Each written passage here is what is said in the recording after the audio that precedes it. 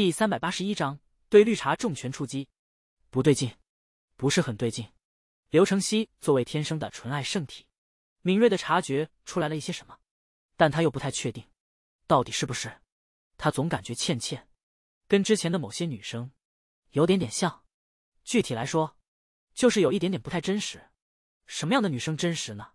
沈雅婷这种敢爱敢恨的人，而正因为她是这种敢爱敢恨的人。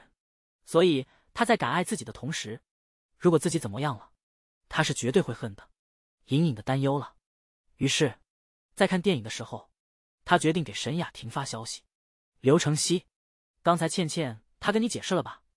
但信息发过去后，对方并没有直接回。而这时，倩倩正好把头扭过来，而且视线还在自己的手机上。于是他把屏幕熄灭。这小孩看人手机的习惯可不好哦。因为这是一个喜剧片，所以在一个笑点处，大家都笑了，而倩倩也用手捂着嘴，被逗乐了，发出文静的笑声。这笑的是个啥？怎么还这么文静？刘承熙有点想念沈雅婷看电影时拍着自己大腿哈哈笑的时刻了。那家伙也是，非要拍自己的大腿，而且拍完后还摸几下，也就是他。不然，其他哪个女生对自己做这种动作，他都觉得怪怪。哥哥，电影不好看吗？倩倩见刘承熙一直都没什么反应，遂好奇的问道：“没事，还行。”刘承熙见状，便将手机放进了兜里，然后双手交叉抱在胸前，看电影。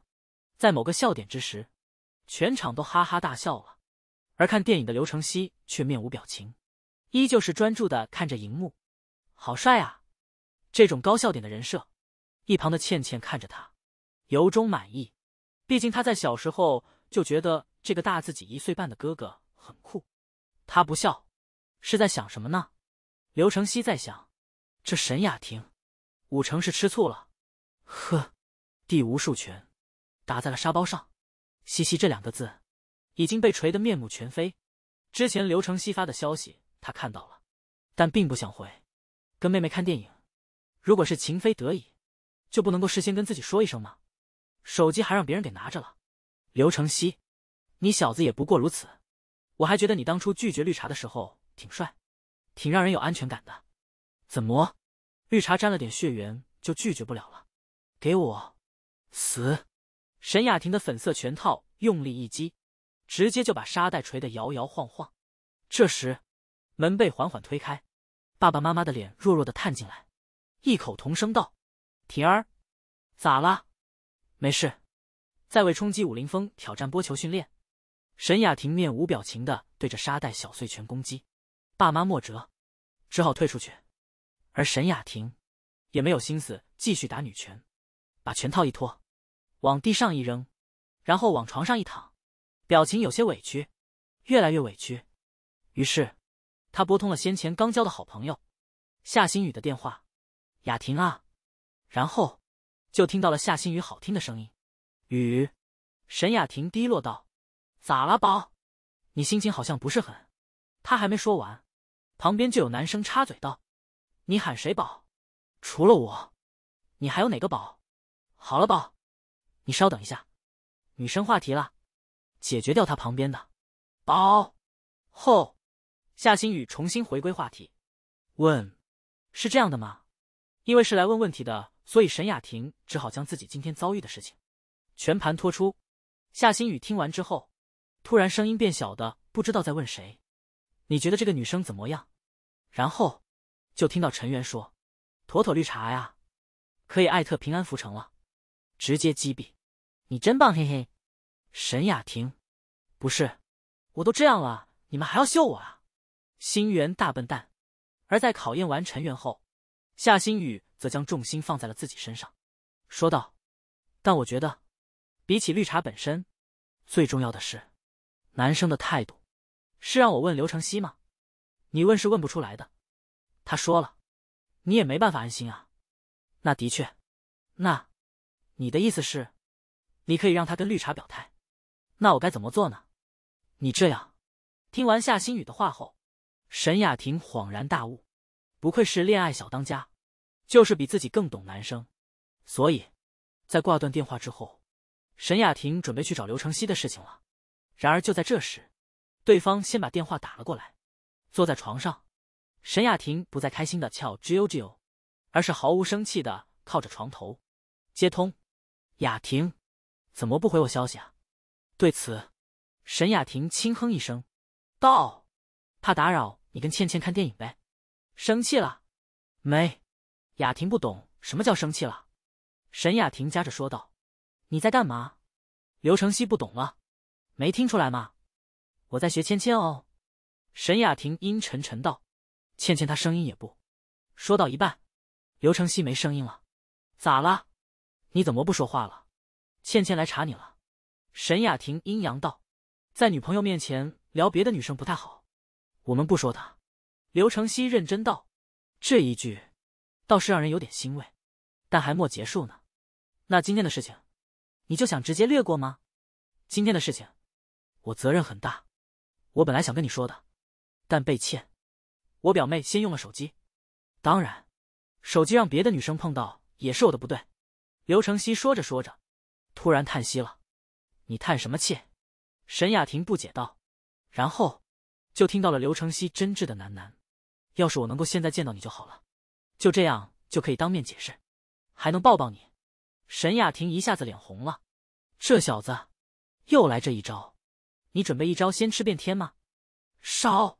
少来了！沈雅婷的气可还没消，她生气道：“今天被你那个倩倩差点气死，就差指着我的脸让我滚蛋了。”他这样了，刘承熙有些意外，也内疚道：“不好意思，他可能刚上了高中，心思有点狡猾。你不要，你跟我说没用。”沈雅婷直接打断。停顿好一会儿后，刘承熙不解的说：“那我跟他说。”而听到这个。沈雅婷嘴角勾起一抹笑意。好啊，刘承熙从厕所回来后，坐到了位上。刚才有个点特别搞笑，可惜你错过了。倩倩说：“没事，不影响剧情就没事。”刘承熙回应后，看着荧幕，然后握着口袋里的手机，这是沈雅婷的意思，把手机调成通话，放在口袋里，对方不说话，然后自己这边负责当面拒绝掉这个倩倩。但拒绝该怎么拒绝呢？人又没跟我表白，就这样，电影一直放完，然后两个人就出了影院，往家的方向走。电影挺好看的哈，倩倩说，还行。刘承熙说，嘻嘻。倩倩笑了笑，然后有些觉得趣味的说道：“我还是第一次跟男生一起看电影呢，我跟男生倒是看过几次。”哈，哈。倩倩僵硬的笑着。然后好奇道：“那你跟女生看过电影吗？”“嗯，好几次，就是你刚才打电话那位。”刘承熙说。此时，电话那边的沈雅婷咬着嘴唇，对这个绿茶已经有点想抽了。不对，要用自己苦练的拳头来解决他。不过刘承熙也真是离谱，竟然能够说出自己倒是跟男生看过几次这种话。但是他的话就不奇怪了。那哥哥。跟那个女生是很好的朋友吗？是女朋友？女朋友啊？好惊讶！你以前好像从来不谈的。嗯，因为他不一样。这番对话让沈雅婷听得十分舒服。都这样了，这女的应该知难而退了吧？真厉害！我高中的话，应该不可能谈恋爱吧？那对我太早了。不是，这绿茶既然悬诋毁我们早恋人士，既然不谈恋爱，也不搞学习。你在干嘛？哈哈，爽！沈雅婷舒服了。我有点笨，学习实在是没天赋。哥哥，你这么聪明，可以教我吗？我教你个锤子，我一拳打死你个江南佳佳。嗯，过年还是好好玩吧，平时在学校就好好学。这刘承熙的回答的确是还行，但什么时候才直接拒绝这臭女人啊？沈雅婷等的有点急急急了。刘承熙不知道咋拒绝，因为人根本就没跟自己表白，自己要是拒绝了，人家说我又没说喜欢你，那岂不是很难堪？他还没有自恋到这种地步。就这样，二人一起回家了。进门后，那个表姨就相当好奇的问道：“怎么样，跟妹妹电影看的还好吧？”“挺好。”刘承熙说。其他亲戚也有些起哄的说道：“倩倩可是大美女，带着她看电影很有面吧？因为出了三副，再加上刘承熙是有名的青年才俊，所以大家都有这种肥水不流外人田的想法，也就自然的说出来了。在这种情况下，妈妈也不太好说，毕竟她先前用刘承熙高中不可能来早恋，委婉拒绝过了，所以自然不能说出沈雅婷的存在。但他莫想到。”这样的拒绝，对于他们而言就成了，懂你，给自己人留着的呗，有口难说啊。嗯呐，刘承熙依旧是礼貌回应。哥哥有他的大美女。倩倩说到一半，突然做出说错话的样子，并对刘承熙投去不好意思，哥哥我嘴瓢了的愧疚目光，但内心早就想好了。程曦妈妈说过了，他不可能早恋，这孩子一心学习。而能够考到七百分，说明妈妈肯定特别重视教育。只要把他的女朋友抖出来，他妈妈必定要插手管教。能考七百分的人，怎么可能会允许早恋呢？这个时候，亲戚也会私下里帮腔，说倩倩挺好，还是三父外的亲戚，肥水不流外人田，稳妥了。一果然，一个舅妈抓住了关键点，露出好奇表情，所有都把视线投向了他。刘承熙这时，要么否定，要么承认，但两种选择都利于自己。而面对大家好奇且在意的视线，刘承熙道：“我的确有一个女朋友，叫沈雅婷。”倩倩、程熙妈脸红的低下头。此刻，双手抓着手机的沈雅婷，则是俏脸一红，嘴唇轻抿，完全的欢欣雀跃了。直球，超级直球，而且。还是向所有人宣布：“呀，你谈恋爱了呀？会不会影响学习啊？”他学习比我好，程曦一表人才，又高，的确是招女孩子喜欢。是我先喜欢他的。既然都有女朋友了，你咋不说啊？这一句像是在问程曦妈的，然后就是刘承熙帮忙的回答。我妈也是刚知道，他不仅维护了我，还维护了他的妈妈。更重要的是。他说出这些话的时候，真是一点都不怕别人家小孩的人设崩塌。转过身，趴在床上，沈雅婷的双脚又翘起来了。有女朋友了呀？那能不能让他给我们打个招呼啊？哪个老妖婆在作妖？竟然如此歹毒！在沈雅婷这样想的时候，刘承熙相当稳重道：“他有点腼腆，不太好意思。但过几年，我会带他来给各位拜年的。”雅婷脸颊红的透了，刘承熙的温柔真的把他包裹的一处危机都没有遭遇。我们承熙，好棒，这才是西西。你什么倩倩？开心了，开心了。这时，沈雅婷挂断了电话。既然如此，就不再监视了。你做的很棒，西宝，这件事情解决了。然后妈妈给自己也狠狠道歉了。刘承熙终于能够在自己的房间跟沈雅婷开心的视频通话了。雅婷，晚上好。刘承熙笑着看着视频里的女孩，语气颇为欣喜：“你今天表现很好，回来我给你做大餐。”沈雅婷嘻嘻道。刘承熙愣了下：“我不是表现很好吗？为食魔要惩罚，讨厌！我厨艺进步很多了。”开玩笑的。刘承熙露出打趣的笑容。点头说：“期待你的奖励。那你表妹还在你面前查了吗？”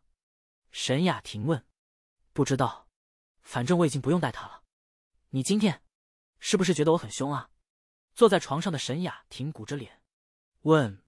刘承熙摇了摇头，回答道：“没有，很可爱。看完这个再说。”说着，沈雅婷将摄像头翻转，然后。刘承熙就看到了沙袋上被锤得四分五裂的嘻嘻，摄像头翻转回来后，沈雅婷露出腹黑的笑容，怎么样，更凶了吧？对此，刘承熙也笑了，然后这个高冷装逼帅男第一次的做出木啊，并温柔道：“这下子我更爱了。”第三百八十二章吴一祖和亲嘴了。回到夏海的家里后，两个人感觉到有一些微妙的怪异。毕竟于子现在还在何翔那边。操！战术性换家了海。今天是大年初三，周五，距离上课还剩下不到一周。两个人也是玩了好久，彻底放松了好久，所以回到家之后就想着稍微学习一下。不过主要的复习资料都在你家里，学点什么好呢？坐在书桌前，夏星宇陷入了思考。生物？陈元问。为什么是生物？夏星宇不解。说错了，是生理。听到这个，夏星宇就知道陈元憋着什么慌，所以也没搭理，直接替他把英语五三拿出来，摊开，不用考的东西就算了，来写几篇作文，你作文还能提点分，我们互相批改。OK 嘞，星宇老师。就这样，两个人开始坐在书桌上，认真的写作文。难得这漫漫长夜，两个不亲不摸，纯粹的搞学习。就这样，十几分钟过去，到了时间后，作文交于了彼此批改，还是挺好的。但改住陈元的作文，夏星宇一边点头，一边说道：“但总感觉有点过于追求句式的严谨了，缺少了一点灵性。毕竟错句错词要扣分啊，不像是语文，是用母语写作文。陈元还能够稍微展示一下他那武林家的文笔，哪怕是用了一些挺少见的词汇。”也感觉略微有点点生硬，夏星宇说道：“这可能就是我英语时期十八分的原因。”陈元看了夏星宇的作文，发现对方的却是要更加流畅，且观感更好一点。而夏星宇作文每次都能二十二十一，光这里就拉了自己二到四分，应该是的。用词衔接的很僵硬，有些地方也是为了用这个固定句式而用。如果是初中作文，肯定是满分。毕竟一处都不错，但高考作文还是稍微讲一点内涵的。谈及于此，夏星宇特别公允的说道：“我们学校那些很顶尖的学霸，他们的英语都是幺四五加的，甚至还有一百四十八的，而你光作文就要扣七八分，的确是有点不太好。小孙也是，哪怕这魔降了，英语跟那些顶尖选手比，也稍逊了一点。”陈元说：“现在看来，目前的自己。”就是稍微消了一丁点的小孙，理科强且稳，文科还有一定进步空间。但不同的是，小孙他的英语是真的积累，这魔长时间了，一直都是不上不下的卡在那里。而且，小孙的语文还比自己强不少，这种意味着，小孙要是不能破除心魔，把英语抬起来，语文也毫无上升空间。到了临近高考，就要被自己完全吊打了。可是我看了那么多英语的阅读和素材，咋没用呢？陈元感到纳闷。已经有用了，只是用处有限。你要不看一下那些作文写得好的学生，他们的范文？夏新宇说完后，又建议道：“你身边有这种人吗？”周福的作文每次分数就不行不行。说到这里，陈元连忙打消念头。大过年的，问人要英语作文，而且还是周福。这个币一定要问，咋了？这么刻苦，过年还在卷英语呢？没，我跟星宇在看电影呢。然后，在开学之后，就会听到那家伙阴阳怪气，咋这磨磨精神？是不是又在跟星宇看电影？我能怎么说？是，看了一晚上。而陈元的这个反应，倒是让夏星宇挺高兴，知道这魔婉找女生聊天不太好，所以避嫌呢。得确是有难得，但也太较真了吧？周福也是我的好朋友，我不在意了。这鱼子搁这里乐啥呢？陈元不知道他在自我陶醉什么，八成又是什么自我攻略。没办法，我就是交了这样一个会自我扑爱的好女朋友。行，那我找沈雅婷要一下作文吧，然后也让他找刘成熙要一下，他们英语都很强。夏新宇提议道：“可以。”哎。你们四个不是都在一个群吗？你要不直接问，在学习交流群聊学习，不太好吧？陈元不确定的说。夏星宇，啊，众所周知，小说群都是不聊小说的，要么开车，要么就是聊游戏。游戏群也都不是聊游戏的，一般到后面只剩开车，唯有车友群，那算是回归了本行，不仅聊车，还聊二手车，聊积碳。聊保养，聊精，机油，末世，开个玩笑。看着困惑的夏新宇，陈元笑住解释，接着在三人行发起了求助。陈元，各位亲爱的学霸，你们写的英语作文能发群里交流一下吗？十七、十八分的就不用发了。沈雅婷，竟然一下子就估算出你的作文分数了。刘成熙，都七百了，还有进步空间这么大的题目。刘成熙，我嫉妒你。陈元。嘲讽完了，就整点作文到群里吧。虽然大家口头上这样说，但陈元提了，他们还是很快的捧场，把作文都发群里了。在刘成熙发完后，陈元充满敬重的回复：“谢谢哥。”接着，沈雅婷也发了七八篇。陈元：“谢谢嫂子。”刘成熙：“陈元，男孩子大方一点，人嫂子都莫说啥。”沈雅婷：“再这样。”给你撤回了哦，陈云，错了。看着他们插科打诨，石毅还是挺乐的。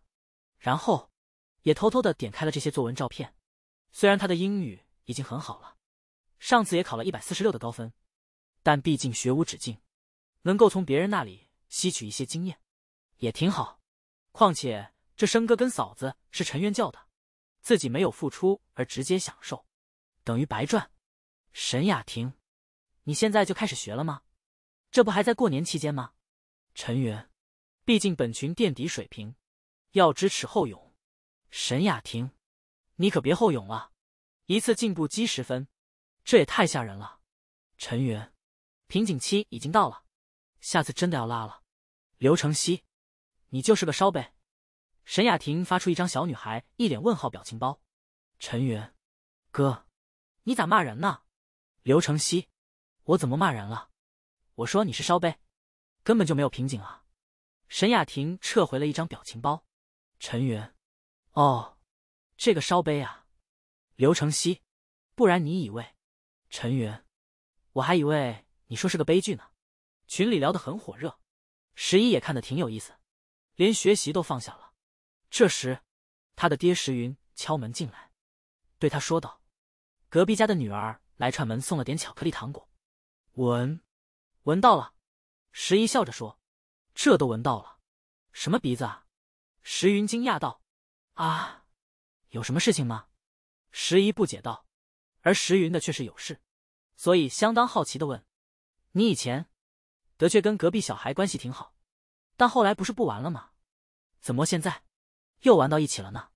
啊，他不是等开学要进四中吗？又是同学。所以就有点共同话题，石毅解释道：“我觉得他爸爸也挺怪的，好像挺乐意促成你俩在一起玩的。”石云猜测的说道。石姨做出微笑，有些紧张的问道：“爸，你觉得是因为什么呢？”我觉得，八成是看上了你。咕噜，听到这里，石毅紧张的吞咽口水，而石云，则是笃定的说道：“的学习，想让你教他女儿做题，还好。”在恋爱方面，我爸跟我一个水准，属于是那重开卷考试都能做歪来的类型。我跟他爸关系挺好，但这事还是看你。如果觉得影响你了，就跟我说，没必要硬着头皮帮忙。石云说：“也没有硬着头皮帮忙吧，顺手之举。况且他多数情况下都是自己学习，那你魏石魔愿意帮他？”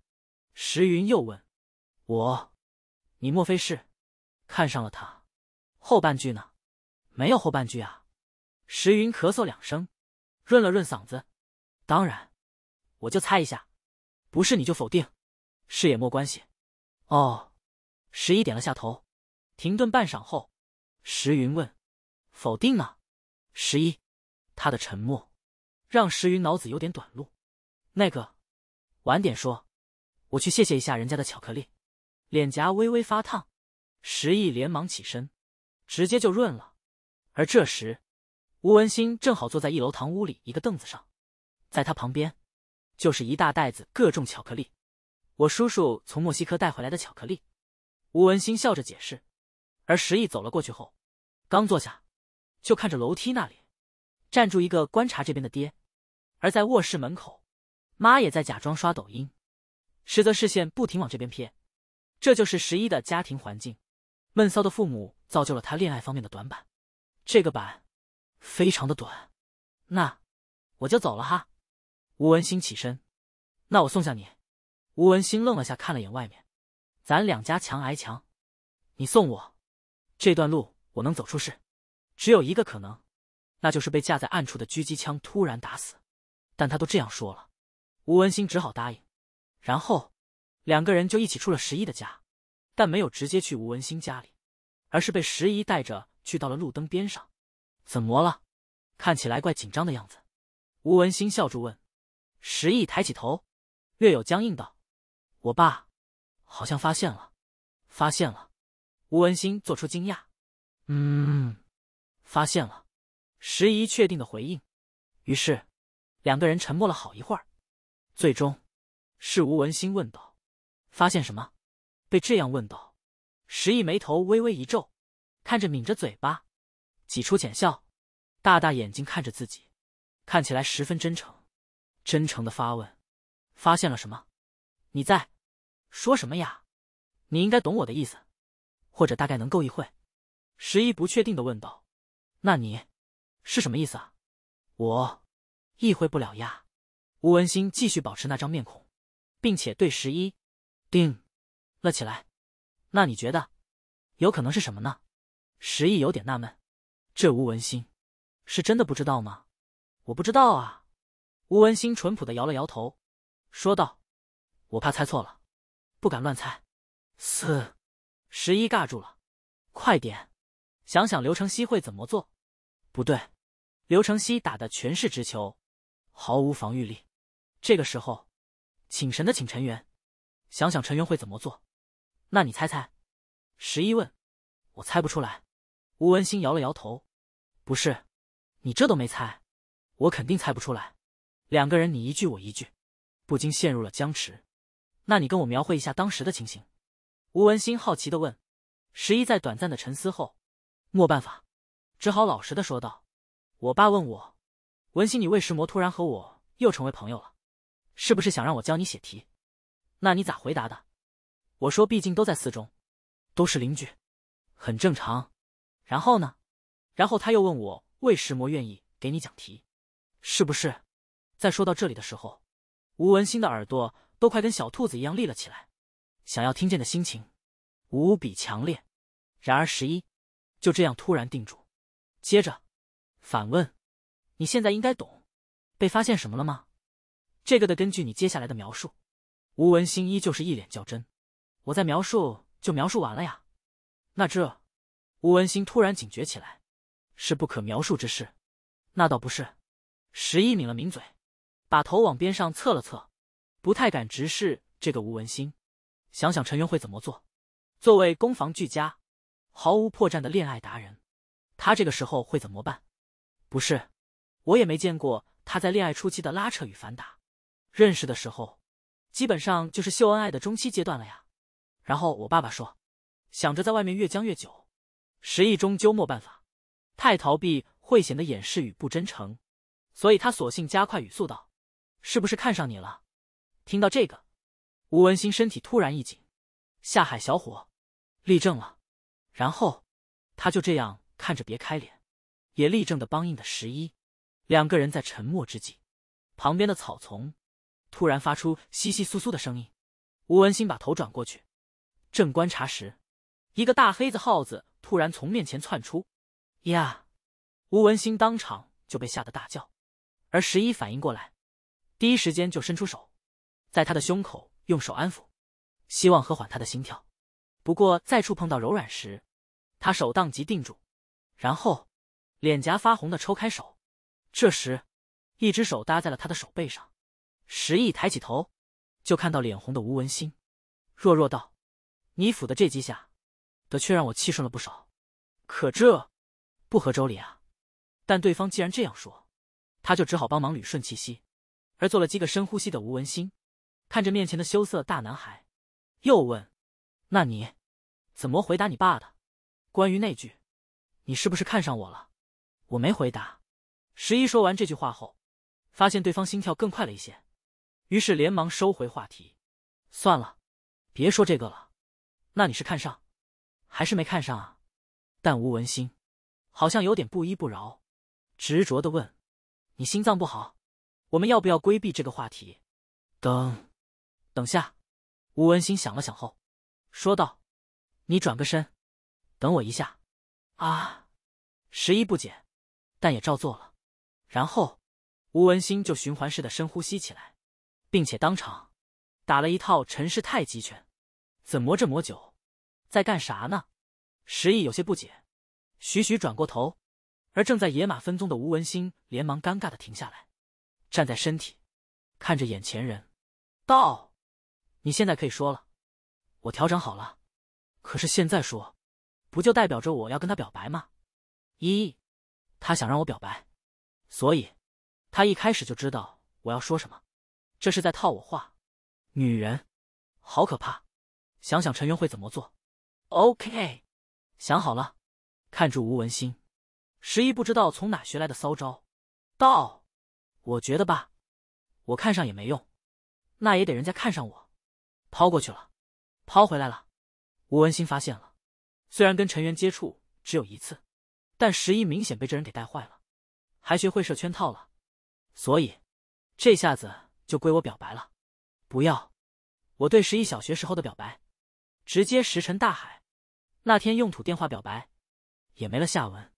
现在还要我先啊？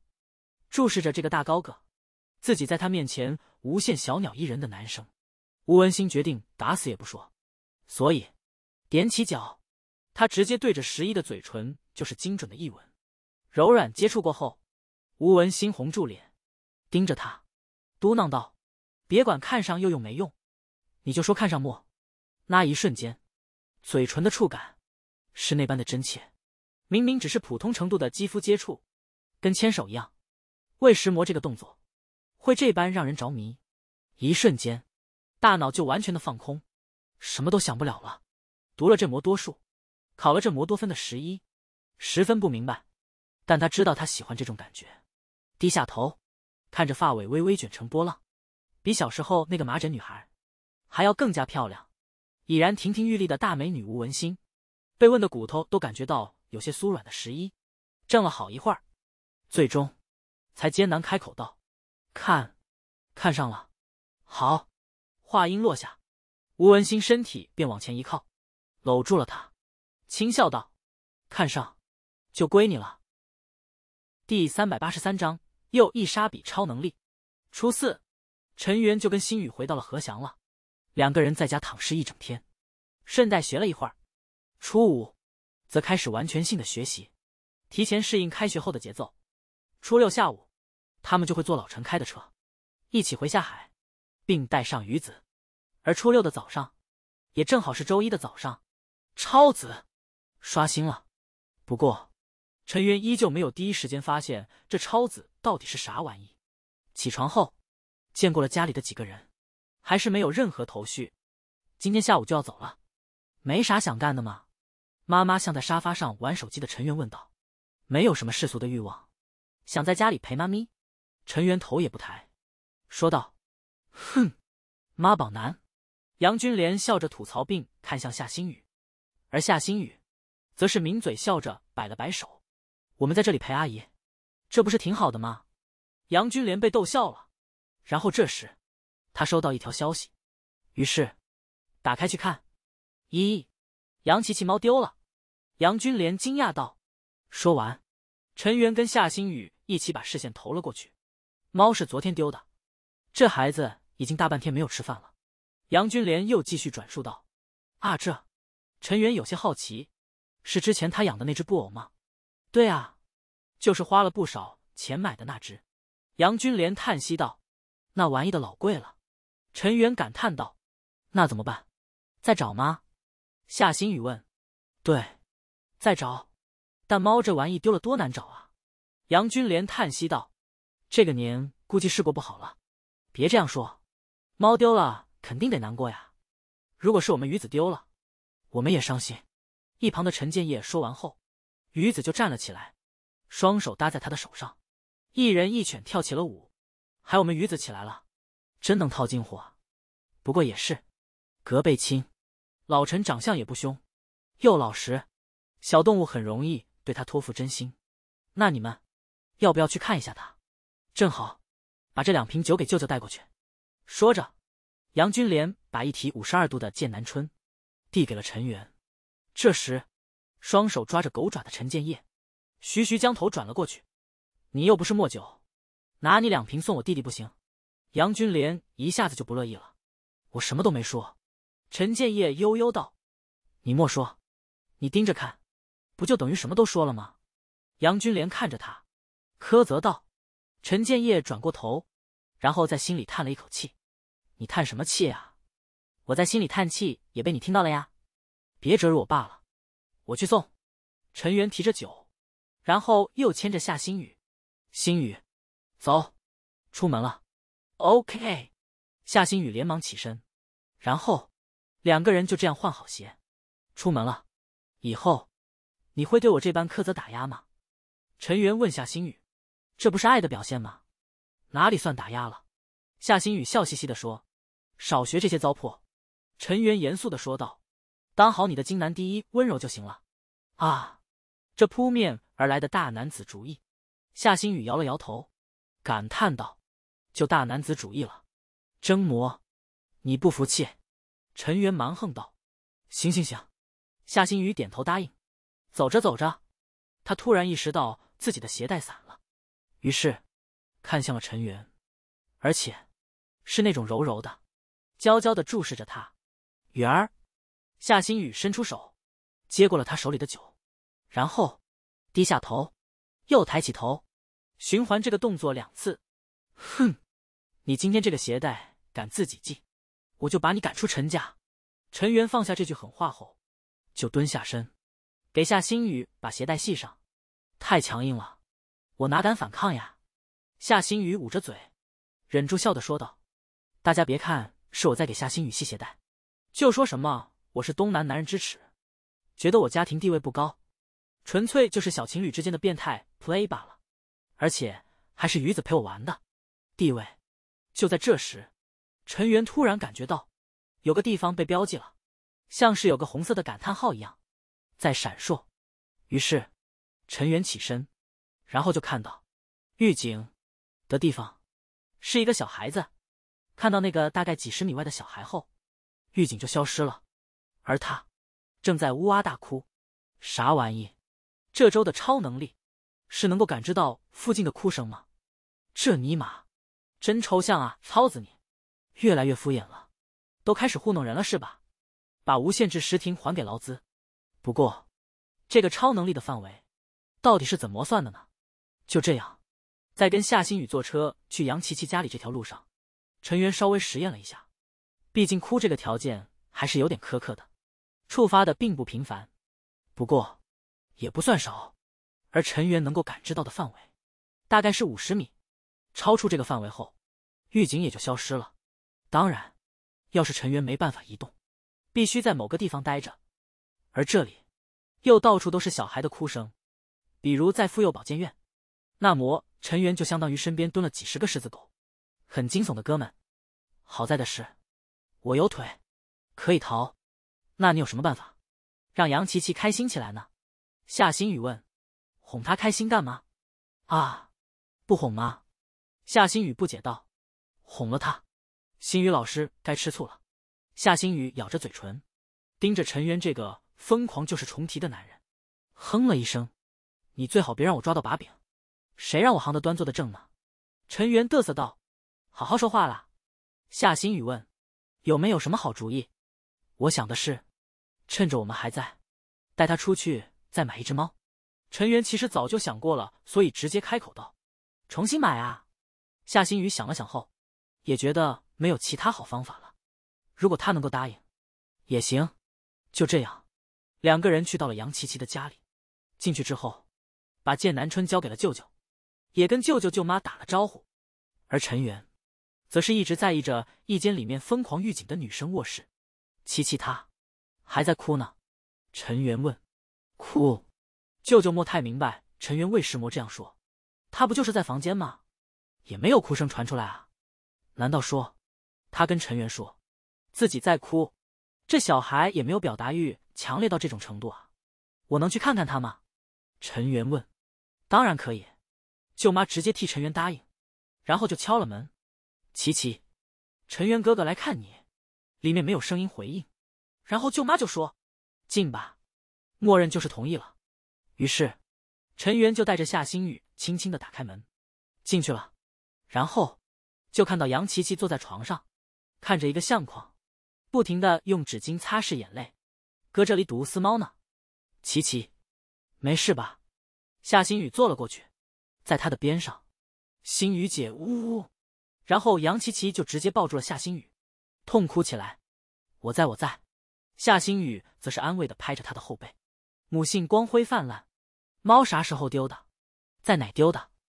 而陈元，则是像名侦探柯南一样，搁这里收集情报，看起来就是耐磨的靠谱。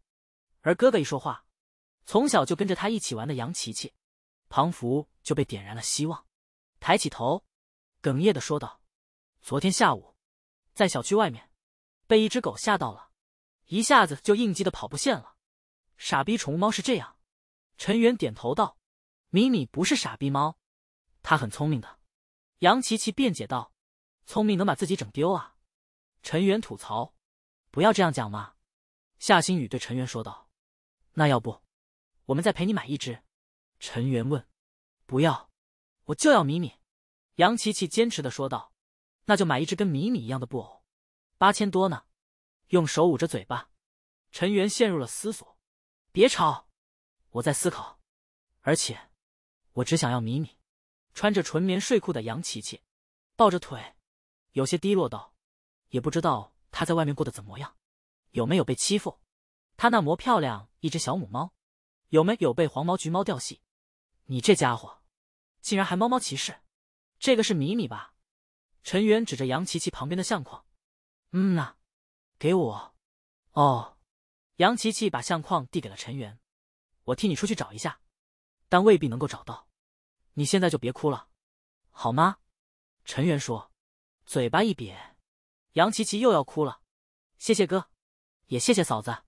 陈元指了指星宇，夏星宇被整得一僵，错愕看过去，然后杨琪琪就同样诚恳的说道：“谢谢嫂子，包在我们身上了。”夏星宇脸一红。当即答应，而且心里还有点点小喜，叫嫂子，嘻嘻。就这样，陈元拿着米米的照片，跟夏新宇一起的下了楼，然后又去小卖部买了几根火腿肠，最终在小区门口的一棵梧桐树下遇到了一个身材很瘦但一身肌肉的黑色狸花猫。还是你会想知道从猫咪网络下手？夏新宇说：“这种事情。”还是得依靠神奇动物们。陈元之所以这样做，也是因为他拥有一个能力，能够将所有语言翻译成中文的能力，而且还是优化后的翻译。哪怕是没有语言系统的动物，也可以将它发出的信息润色后成汉语，超级汉化。就这样，他拿着香肠喂这只一点也不怕人的狸花猫，好吃好吃。狸花猫一边吃一边喵喵，还喵成了汉语。你。我喜欢，可以给你摸头，我给你吃的，还要帮你摸头，你多大脸呢？我可是狗派，好饱。陈元在他吃的时候，把相框对到了他的眼前，认不认识这个妹妹啊？猫咪正吃着，一个猫脸就对到他面前，咦，好丑，丑就丑，怎么还好丑？人杨琪琪花八千多买的呢，感觉他像是知道哎。夏新宇有些欣喜，别急，再让他看看。陈元说：“猫咪，继续端详这只猫咪。”喵喵道：“还好肥。”好了，别记吧。点评了猫哥，你能不能找到它啊？陈元笑着问。猫咪继续盯着，吧唧吧唧了一口火腿肠后，喵喵道：“有点难，难。那意思是就是还能找到了？不对，他怎么跟我对话起来了？”正当陈元这样想的时候，梨花哥爪子从肉球里渐渐生出，面露铿锵：“打死有点难，但打残没问题。兄弟们，有没有肠易激患者呀？我被折磨两年了，你们都是吃啥药好的？”第三百八十四章，谢谢嫂子。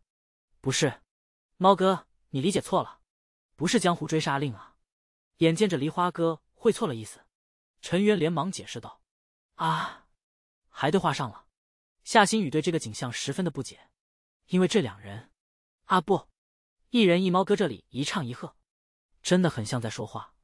猫猫不知道这人在急什么，明明自己已经接单了，他还那魔较劲。于是看着他手里的另外一根火腿肠，盯了好一会儿后，喵道：“打死也行，得再来一根。谁特么让你打死了呀？做事能不能这魔社会？没办法。”陈元只能够指着自己的火腿肠，再指着相框上的猫咪，意思就是找到后再给你。人呐，真小气啊！算了，先帮他把那白胖子打一顿吧。走吧。于是，身材瘦条却精悍的梨花大哥喵了一声，就往前走。看样子是有戏。陈元说：“那我们跟着他。”夏新宇也跟着一起起身，两个人就这样跟在大摇大摆。在路上走猫步的梨花大哥，靠着路边走。过了一会儿，一只趴在围墙上的纯黄色大橘猫朝着他喵了一嗓子：“干啥去呢？”梨花猫抬起头，也对着墙上的大橘喵道：“带两笨蛋找个白胖子，该说不说，你这嘴是真的碎。”白胖子，大橘喵喵的叫着，并打了个哈欠，慵懒的说道：“啥样的白胖子？”梨花猫站定在原地，想了一会儿后。抬起头，喵道：“又肥，脸又大，一身白，毛还长，反正奇丑无比，丑的一眼让猫忘不掉的那种。那没见过。”大橘猫一边说住，一边站起来，身体打着抖，尾巴也摇曳起来，像是要弹射起步似的，舒展了一下身子。那我帮你找找看。好的，兄弟。梨花猫特别友好的喵了一声。接着语气有些狡黠道：“这俩人特小气，到时候找到了别急带我去，我带他俩多晃悠一下，多整鸡跟肉棍棍。”橘喵笑着答应：“好嘞，中介，你可真狠啊！”陈元是听出来了，这里花猫是够狡猾的，为啥叫他中介？夏星宇莫懂陈元的起外号方式，黑背。陈元耸肩道，而梨花猫就这样继续的带着俩人大摇大摆。这时，一只小三花猫也瞅了过来，梨花猫一下子就高兴了，靠了过去，跟它纠缠在一起。两个猫身体都打成结了，而且还主动给人三花猫舔毛。梨花猫舔着舔着，还赞叹道：“这大屁股真凶。” OK，接下来就不是能够翻译的喵语了，别给树给整疯了，怎么还跟朋友玩起来了呢？夏新宇有点着急，这俩猫哥这里搞对象呢。陈元就知道梨花大哥不靠谱，所以也没指望他。他俩搁这里玩就玩。陈元则是往前，并且找到另外一个坐在花坛上的金背银床小小菊，并且拿出了火腿肠以及相框。没办法，手上的肠没多少，不能见猫就给，得节约的用。先给我尝一口。但这金背银床直接选择性的忽视相框，然后就盯着火腿肠，讲起了条件。行行行。还得是咱小菊啊，不然怎么就数你最肥呢？行行行，真受不了你啊！没办法，陈元只好把火腿肠往他嘴里伸。然而小小菊刚准备开口，一条白手套的后腿突然往这边射过来，瞬间就把小小菊踢飞，并且站在花坛上，直接就朝着小小菊大吼：“滚一边去！谁让你来的？”小小菊就怂怂的回望一眼后，接着连忙转身。跑得老远，生怕被逮住，就是一顿打，滚！而梨花大哥还是不解气，继续对着吼，直至对方彻底消失。跟着，接着就继续往前走，冷冷的给二人领头。而夏新宇则是看着在给自己舔毛的三花猫，吐槽道：“他女朋友还在那里呢，不管了，大哥上班去了，下班会找女朋友的。”可刚这样想，梨花猫又跟另外一只梨花缠到了一起。又舔又摸，举止十分亲密。这渣猫，夏星宇咬着嘴唇，露出了有些鄙夷的表情来。你别光搞对象，你帮我找一下米米啊！陈渊实在是有点没耐心了，但他刚说完，跟梨花搞对象的梨花哥，在舔着舔住时，不忘说道：“我再找一个白胖子，毛很长，而且很丑很丑，帮我留意一下。”好的哥，母狸花猫特别给面子的喵了起来。接着，梨花大哥又虎虎生威的走了起来，真有面啊！你丫猫界成员是吧？星源就这样跟着梨花猫，一路的走，一路的寻。可这梨花猫啥事也不干，就这样不紧不慢的跟着各种猫咪打招呼，足足的围着小区走了一圈，最后，在一个小公园的健身器材那里停了下来，然后就直接坐在地上舔起了菊花，尤其的惬意。这让猫咪网络来找猫，靠谱吗？夏星宇开始质疑起了这种方式。当然，他主要是质疑他。我觉得我们可能被这个渣猫忽悠了。渣归渣，我看他办事还是挺利落的。我想，应该是想坐地起价了。这样想的陈元，缓缓蹲下身，拿出另外一个火腿肠，直接扒开，递到梨花猫的面前。然而，这梨花猫像是没看到，也没闻到味道一样，直接性的忽视，继续舔菊。咋？不吃？哥，你在看几眼照片呢？陈元把相框往他面前对。希望他能上点心，把这事给咱整好，或者尽量努点力，别这样敷衍。一回生，二回熟，说不定我们就成朋友了呢。但这梨花大哥硬是不看这米米一眼，难道是太丑了，不乐意看？那也是，要是有人把凤姐照片逼你看，你也得难受。突然的，梨花猫耳朵一立，然后不再舔菊，直接就站了起来，眼神。也在一瞬间凌厉起来，咋啦咋啦？突然看起来好聪明的样子，夏新宇也被他的架势给吓唬到了。来了，而梨花大哥依旧是这样一副冷酷的姿态，板正的站立着，望着一边。顺住头的视线，陈元只能看到一片空气。啥玩意就来了呀？你别装逼呀！陈元正这样说的时候，一只奶牛猫朝着这边斜着跑了过来。这边找到了。但你为啥斜着跑？你丫神经病啊！而听到这声后，梨花大哥当即就如同闪电一样射出去，朝着那边快跑，跟上，走，跟着他。陈渊这下子估计是真找到了，就跑在了梨花猫的后面。夏新宇也是尽力的跟着。就这样，大概跑了几分钟之后，两个人有些累得气喘吁吁了，而梨花猫依旧是健步如飞，往前带路。好在的是，在一处老式民房外面的围墙那里，梨花猫停了下来。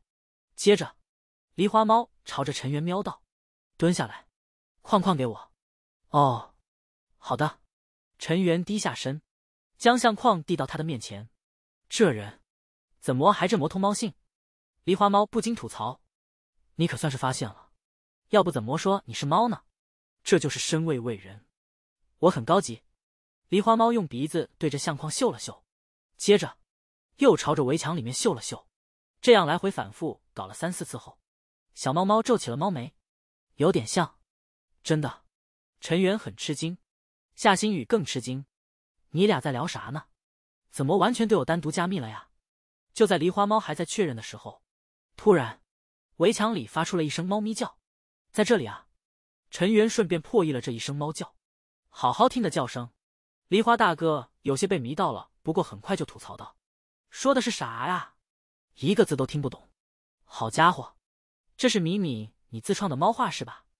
不过也是，米米自从小时候就被杨琪琪带到家里了，从来都没有接触过猫咪社会，自然跟外面的猫猫不是一个语言体系。可以说，每个宠物猫都有自己的语言体系，可以称之为米米语。我来啦！然而就在这时。从旁边也传来一声猫叫，二人视线放过去后，看到了一只花色挺漂亮的橘猫，悠悠的走了过来。而它一叫，围墙里面的猫咪也开始叫了起来。这下子，漂亮橘一下子就来劲了。虽然听不懂，但声音真好听，于是也叫得更大声了。哦，两只猫咪搁这里求偶呢。外面的流浪猫又来找小白了，是不是要娶她做老婆呀？里面传来了一个小女孩的声音。好像小白也挺乐意，像是他妈妈的声音说道：“可是小白这么漂亮，万一流浪猫太丑怎么办呢？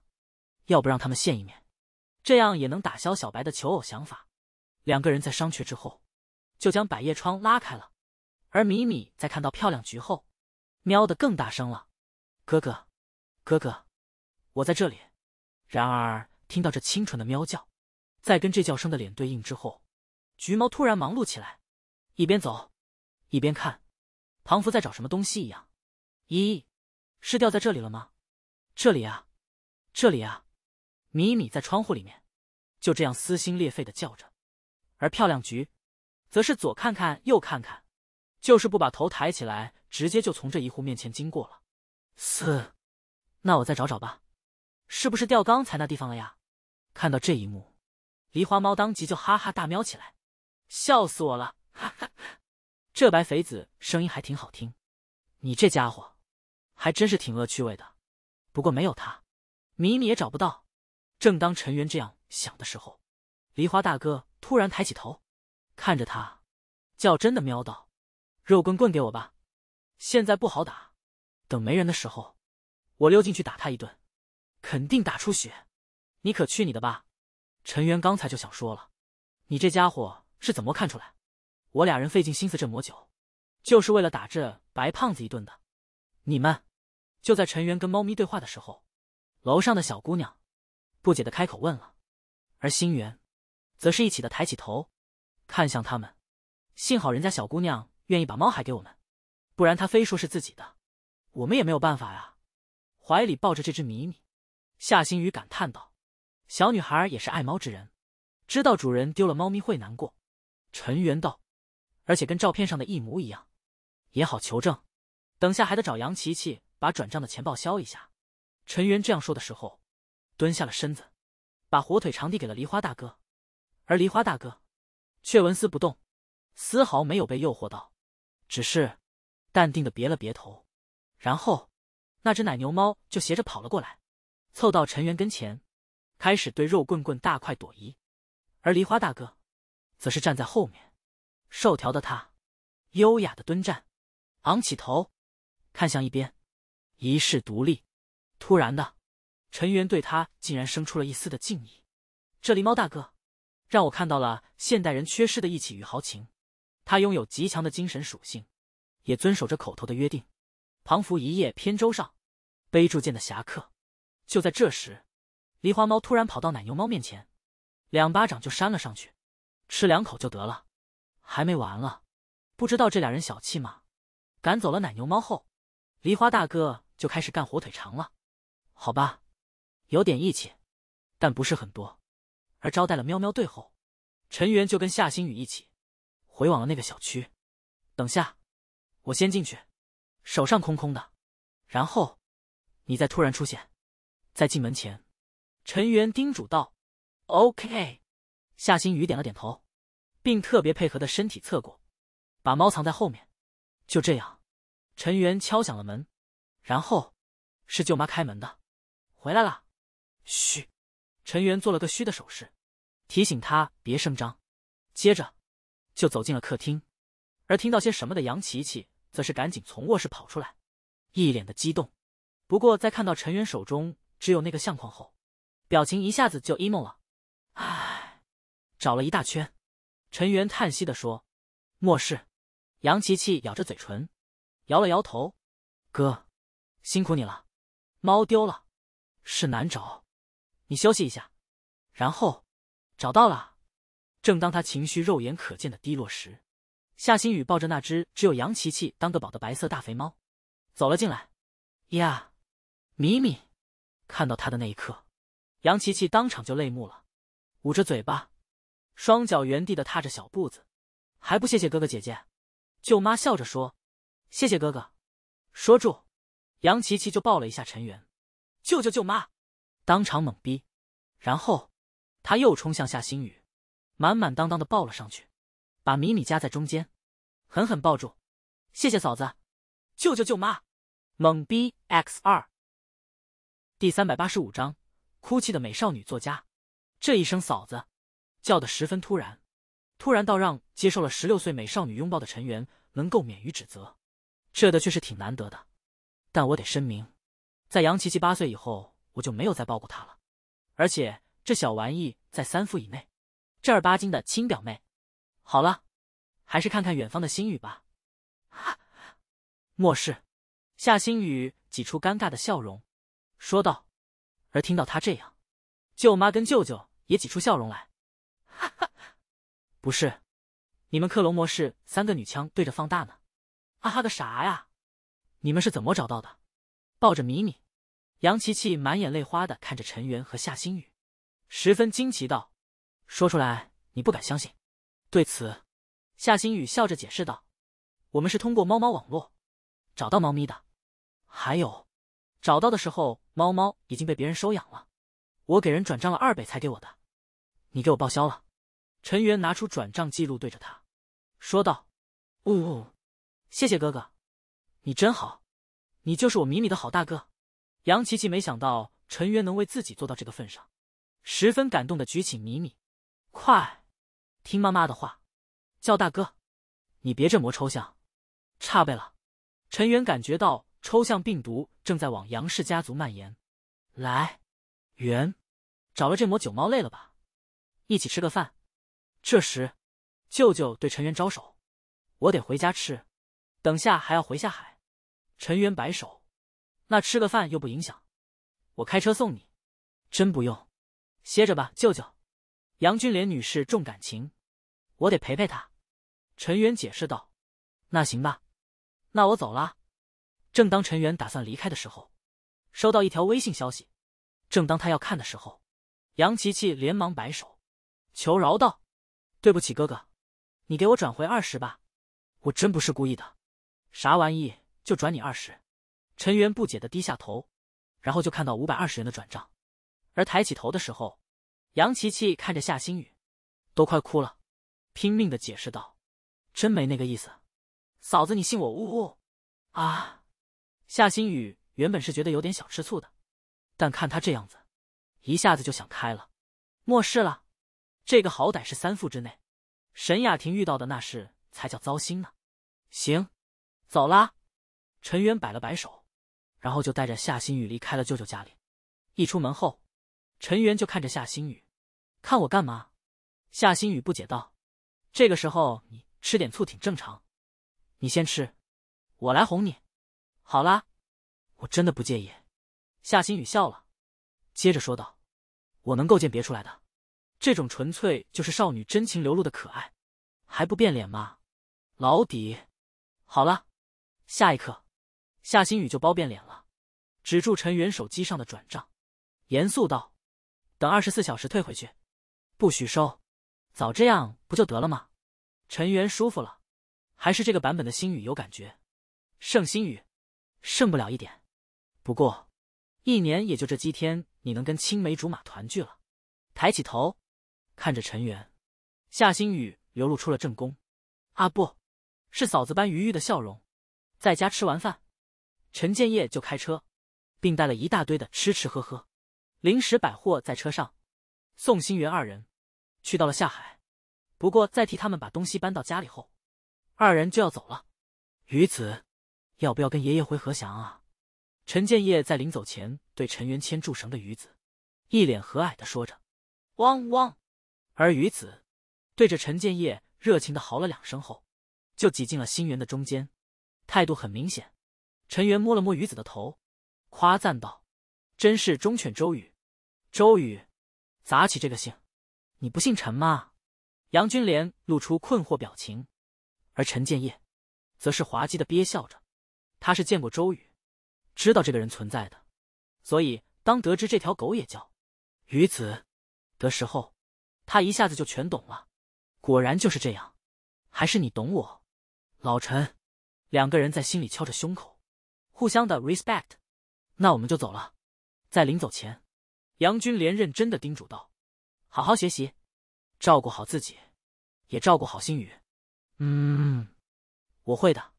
陈元点头，旁边的夏星宇也红着脸点了点头，道：“我也会照顾好陈元的。”就这样，老陈一家开车离开，而陈元也跟星宇回到了自己的屋子，铺好床垫。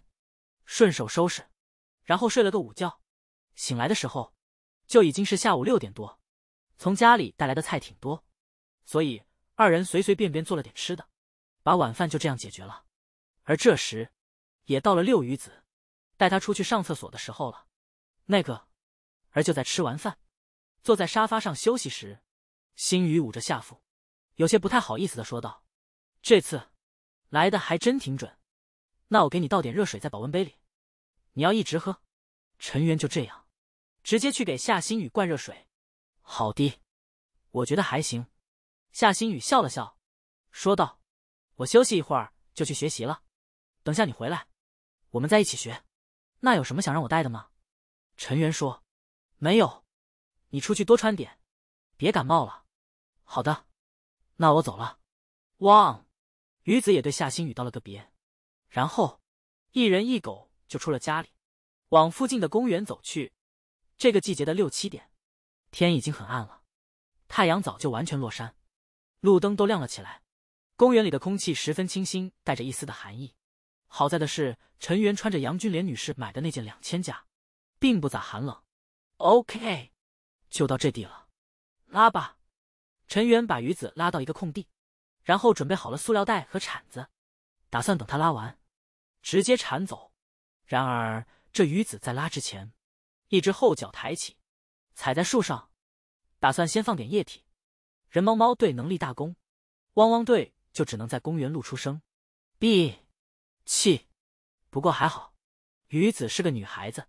没那磨辣眼睛，就当陈元守着他尿尿时，突然感知到有哭泣，而且非常之近。于是陈元回过头，结果就看到一个穿着毛衣长裙、黑色长发齐肩、戴着圆框眼镜、表情看起来十分呆的女孩，正捂着嘴巴，一抽一抽的哽咽着。哦，女人啊，没劲，还以为是猛男哭泣呢。陈元没多想。直接转头，继续照看鱼子拉翔，并且在鱼子排泄出后，他就将答便铲进塑料袋里，找了个地方的垃圾桶扔了进去，并且用湿纸巾给鱼子擦了屁股。而这时，哭泣感应好像消失了，可回过头一看，他还在感应范围之内啊！哦，懂了，是哭了一会儿就不哭了，这还挺正常。于是，陈元就牵住鱼子，在公园里继续散步。哎，有老头搁这里下象棋，看看。陈元就这样牵住狗，围观起了老头的象棋搏杀。妙，下得好，下到绝佳之处。陈元也忍不住的点头赞叹。可看得好好的，他又感知到了哭泣，就在自己的侧前方。于是他看了过去，咦，还是这个女人。她正坐在长椅上，撅着个嘴巴，轻轻的哼唧出声。正好是一个自己能够看到的角度，而且离得挺近，啥意思啊？又哭？陈元呆住不解。看完这局象棋后，又遛着鱼子去到江滩边上的步道，那个经常跟沈小冉偶遇的地方。可这时，哭泣感应更近了，且就在自己的身后。妈的，这家伙不是在哭，而是故意在自己身边哭。咋的？想碰瓷是吧？给自己肚子里的孩子找爹是吧？那不可能，我炒粉从来不放鸡精。嗨，我也没炒过粉，有问题，绝对有问题。这样想的陈元，因为知道自己身后有人，而且还在掉小珍珠，于是他果断的开启了心声。怎么办？他是没有注意到吗？那我再哭大声点，那样会不会有点刻意了？啊，真麻烦。到底咋样才能够写出自然的感情线啊？哎，自然的感情线，啥意思？陈元一下子惊住了，好像陷入了某种 play 之中。燕小英是一名网络作家，她的头都大了。从高中开始，她就开始写小说了，陆陆续续也写了几年。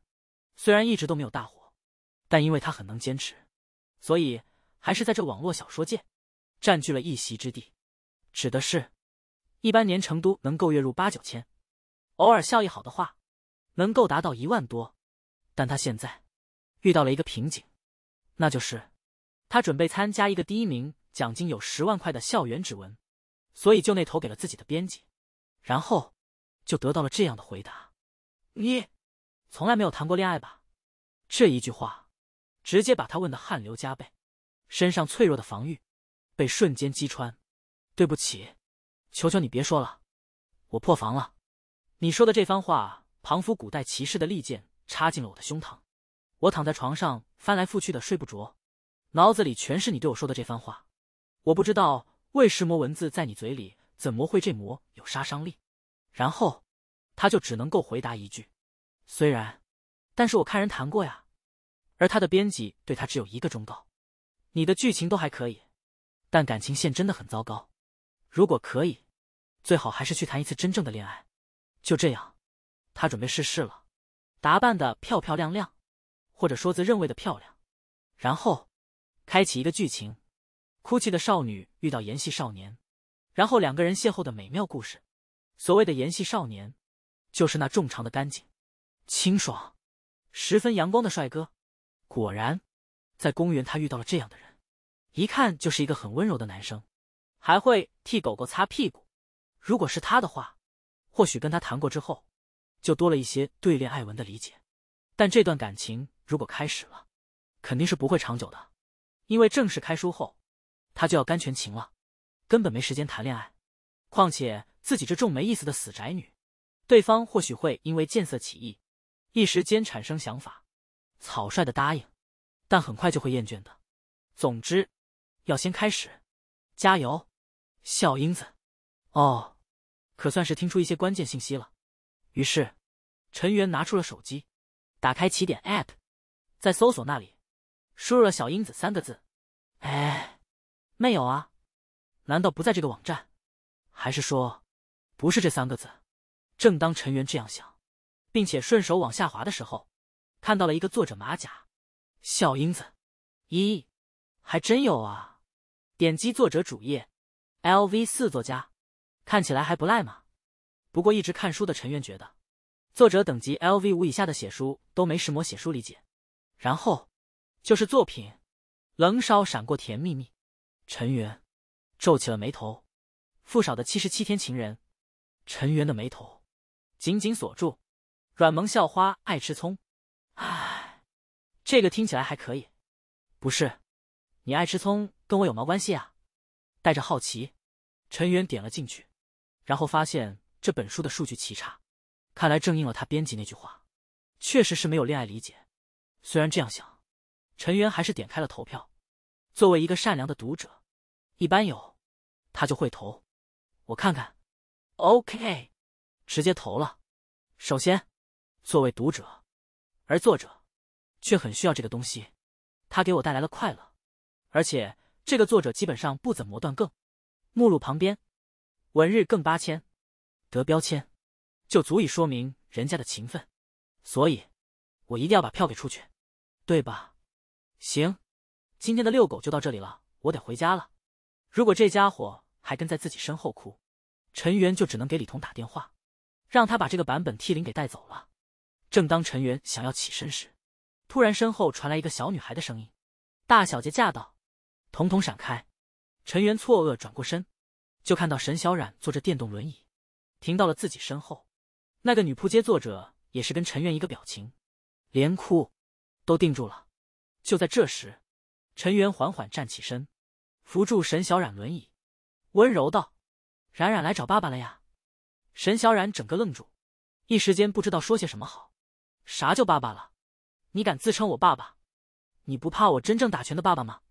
还有，这个女的在干嘛？刚才就一直站在这里。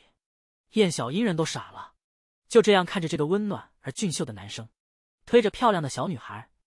往前面走去，从直接身前直接离开，他的世界观可以说是崩塌的。好不容易心动一次，就让我输的这块彻底。家人们谁懂啊？本以为是个少年，没想到竟然是个少妇。第三百八十六章开学与恋爱圣经。沈小冉的表情是木讷的，他不知道陈元在搞什么，更不明白那个女人为石魔看着他俩。直到被陈元推走之后，他才问道：“虽然我喜欢你，但让我叫你爸爸这种事情，对我而言还是有点困难的。叫叔叔可以吗？叔叔可以。不对。”沈小冉脸一红，当即就跟蒸汽机似的，头顶要冒烟了，连忙呵斥道：“我还是小学生啊，你开这重车做什么？”陈元眉头一皱，没太懂：“叔叔咋啦？叔叔不就是那重，那重意思吗？”我不懂耶。陈元一脸淳朴：“叔叔是什么意思？”咬着嘴唇看着陈元，沈小冉认为这家伙绝对懂，我的却懂，但我真的没想那么远。你所热爱的，就是你的生活。陈元试探性的反问：“啊，我就是这个意思。”沈小冉属于是那种给了台阶就会下的类型，而且小学生太过于见多识广，也不太可爱。你刚才那个女生，你认得吗？沈小冉问。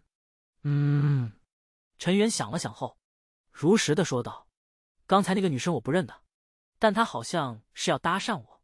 当然，也只是好像，我不确定。你如果觉得我是在自恋，就算了。你说话这么谨慎干嘛？”沈小冉吐槽过后，回过头看着那女人，然后转回头道：“所以，你为了拒绝他，就跟我演了这样一出？没错。”绝对不是要占你的便宜。男生的辈分之争，只有赢下了同样对辈分之争充满执念的人才有意思。啊，真幼稚啊你！十一岁的沈小冉对十七岁的陈元如是评价道：“不然没办法呀，哪有什么没办法？”沈小冉不屑的抽了抽嘴角，说道：“你如果不想被搭讪，直接拒绝就行了，何必搞这一出？不过是怕自己受不了美少女的诱惑，所以才做出这种怯弱之举。”你的意思是，如果不喜欢对方，直接拒绝就能有用？陈元问。当然，沈小冉想也没想，干脆说道：“别人都明确拒绝了，还要缠着，哪有这磨磨骨气的女生啊？”他说完之后，陈元没有说话，只是平静的看着他。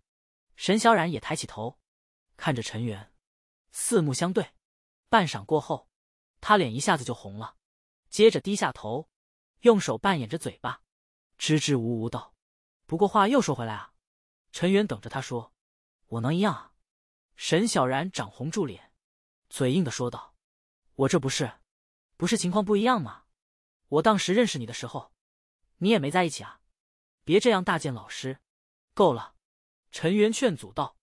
而陈元越这样，沈小冉就越觉得自己委屈，呜哇一声的哭出来，欺负小学生。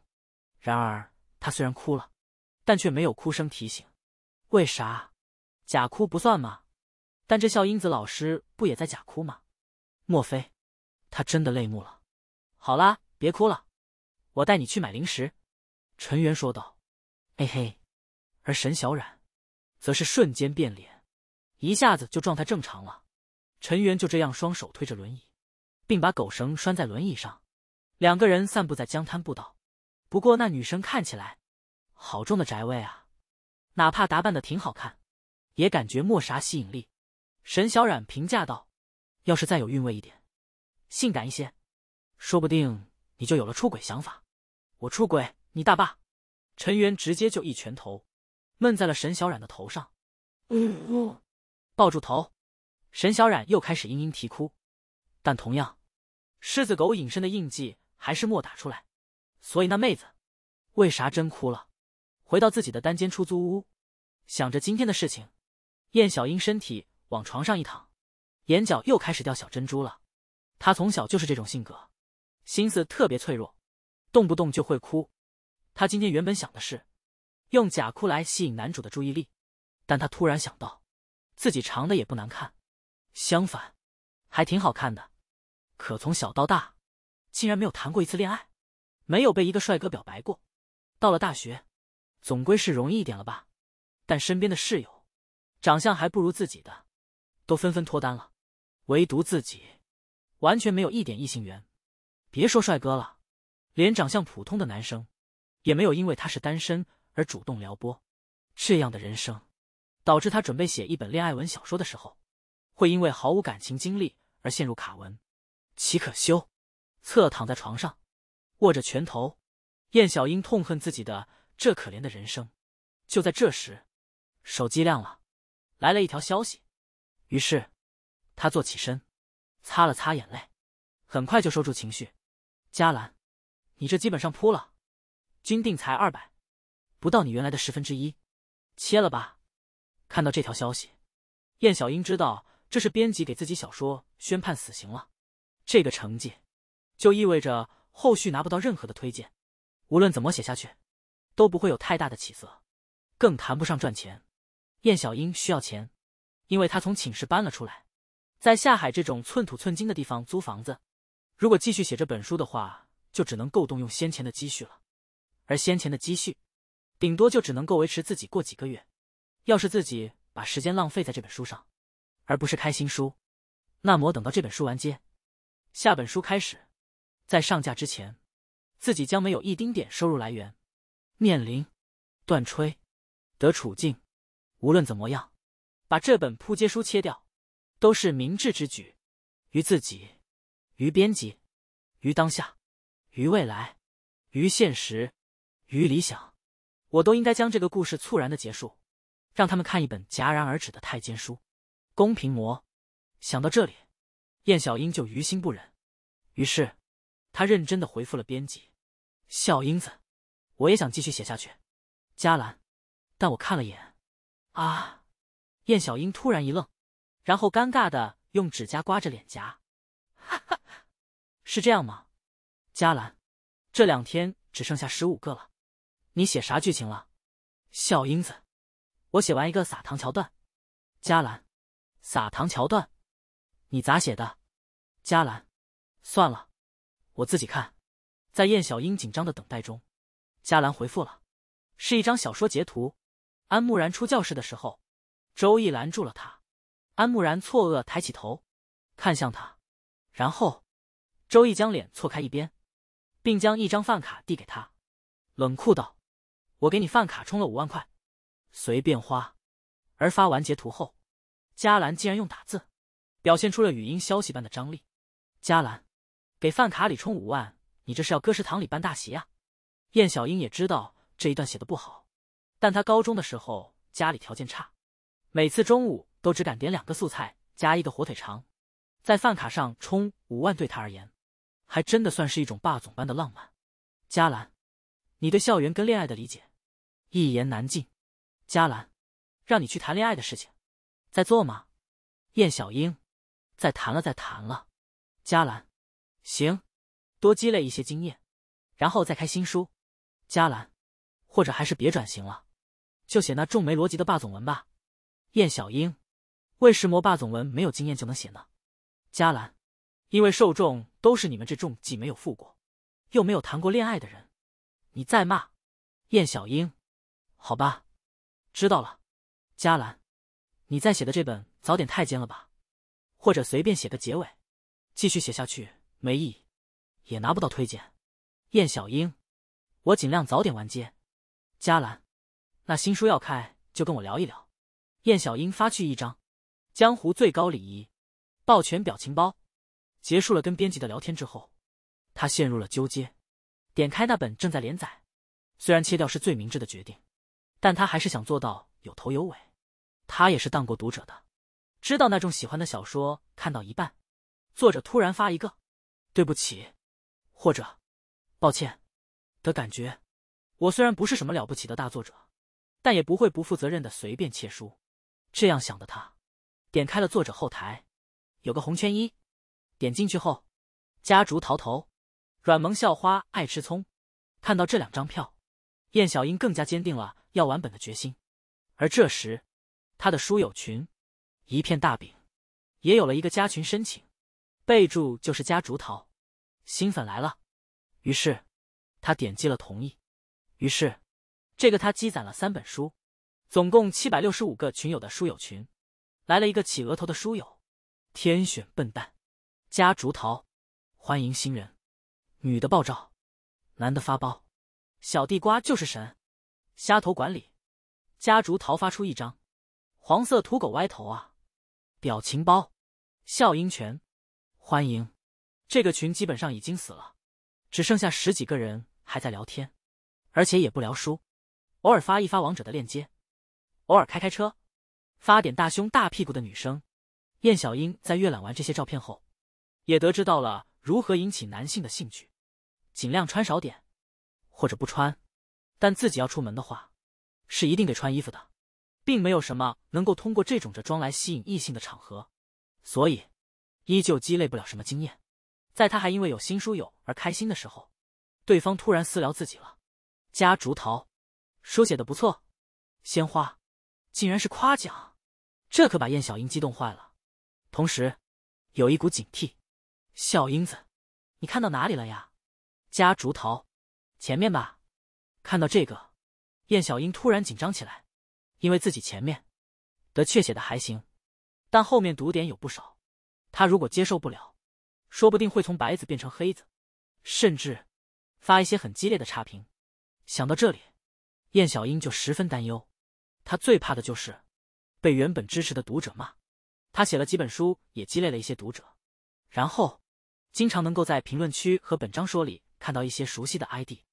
他们要么吐槽，要么分享自己的故事，甚至还会从一本书跟到另一本书来。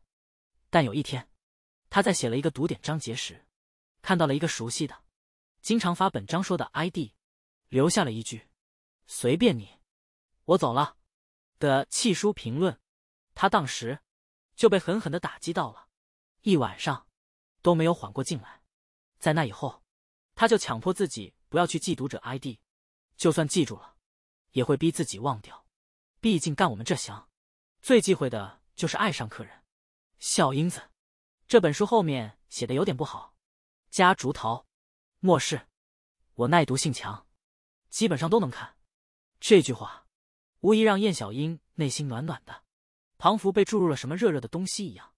小英子，谢谢啊。比心，加竹桃。对了，作者酱。能够给我个马甲吗？我也想出镜一下。小英子，可是这本不加新人物了。加竹桃，啊，要切吗？小英子，不切。但这本定位的就是短篇，应该还只有七八万字就完结了。加竹桃，啊，好吧。小英子，但可以给你加到下本书。加竹桃，啊，这么好啊。加竹桃。我追的一本书，小英子，那众大佬，加竹桃，想多了，个 BYD 的不码字的时候，天天玩偷塔刘塞恩呢。小英子，哈哈，那你想要什么样的马甲？加竹桃，我能跟你分享一下我高中的故事吗？可能有点长。小英子，可以啊。就这样，那边就开始正在输入。过了大概五分钟后，长长的一条消息就发了过来。啊。好长，燕小英不太想看，但对方这么真诚，他还是决定看一遍。加竹桃，我高二的时候，班上有个女生，性格特别大咧，有点暴力，而且人缘很好，班上同学都挺喜欢她。长的虽然只能算中等，但打扮之后很好看，还有点小性感。我也觉得这女生挺好，但一直都不太熟。后来，我基友。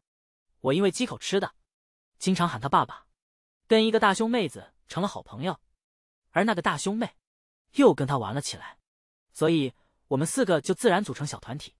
我跟那个女生的关系也稍微好了一点，就像普通朋友了。我一直都觉得是普通朋友，但后来一场篮球比赛之前，我们跟一个班因为争场子起了冲突，然后他就来劝架，本来都没事了，但对方有个大高个手贱。说把球还给我们，就扔了过来，一下子就把那个女孩砸倒了。当时我不知道我在想什么，直接就冲上去，一脚踹向了那个男的。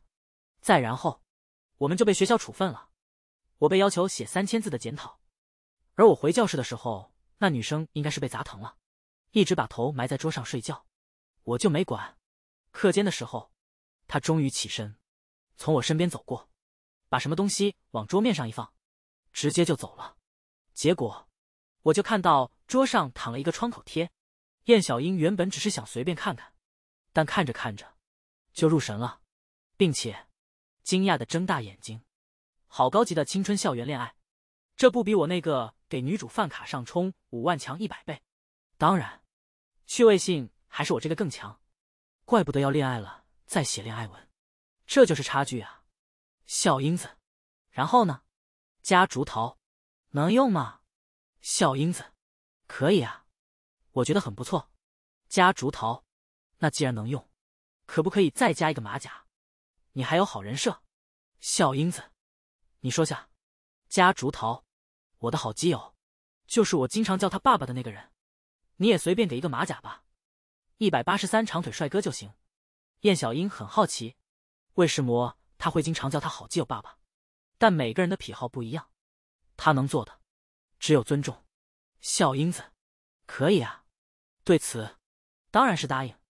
而且，他还有一个请求。笑英子，那我能不能以你这个角色？作为男主女主啊，这我还谈什么恋爱啊？这魔会谈恋爱的读者都快把饭喂到我嘴里了，直接吃就完事啊！他有预感，以这对角色为主角，稍加润色，丰富剧情和细节，他一定能够写出让嘉兰满意的小说，说不定还能够得到直接梦寐以求的红标勋章。精品频道，他以前的最好成绩只是区区两千军定，难道就在今日？夹竹桃，当然可以啊！我的荣幸，太好了！夹竹桃真是神仙读者呀！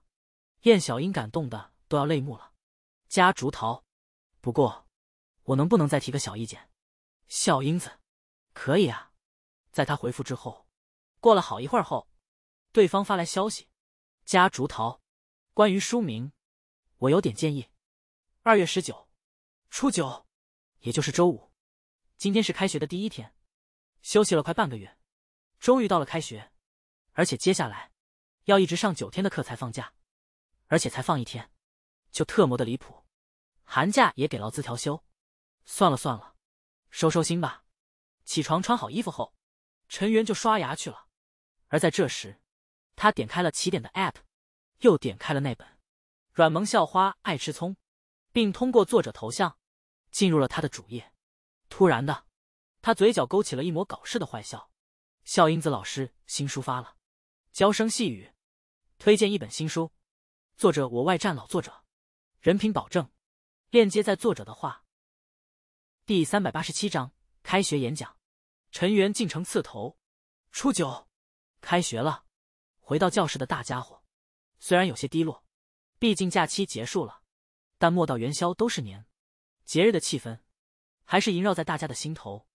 在进教室，经过唐思文那里时，他便双手抱成拳头，礼貌又可爱的给陈元拜了个年。唉，您吉祥。陈元也点头回应，然后就回到了自己的座位上。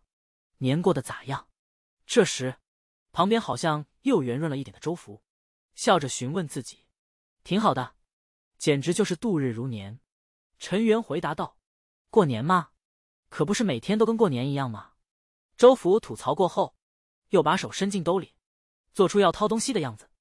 你给我磕个头，我给你红包。你咋不给我磕一个呀？陈元不服，我有红包啊！周福特别理直气壮道：“真有。”陈元总感觉以周福这颇有家资的经济状况，说不定真的能够整个大包。你给我拜个年吧，我给你。周福笑盈盈道，保持住狐疑的态度。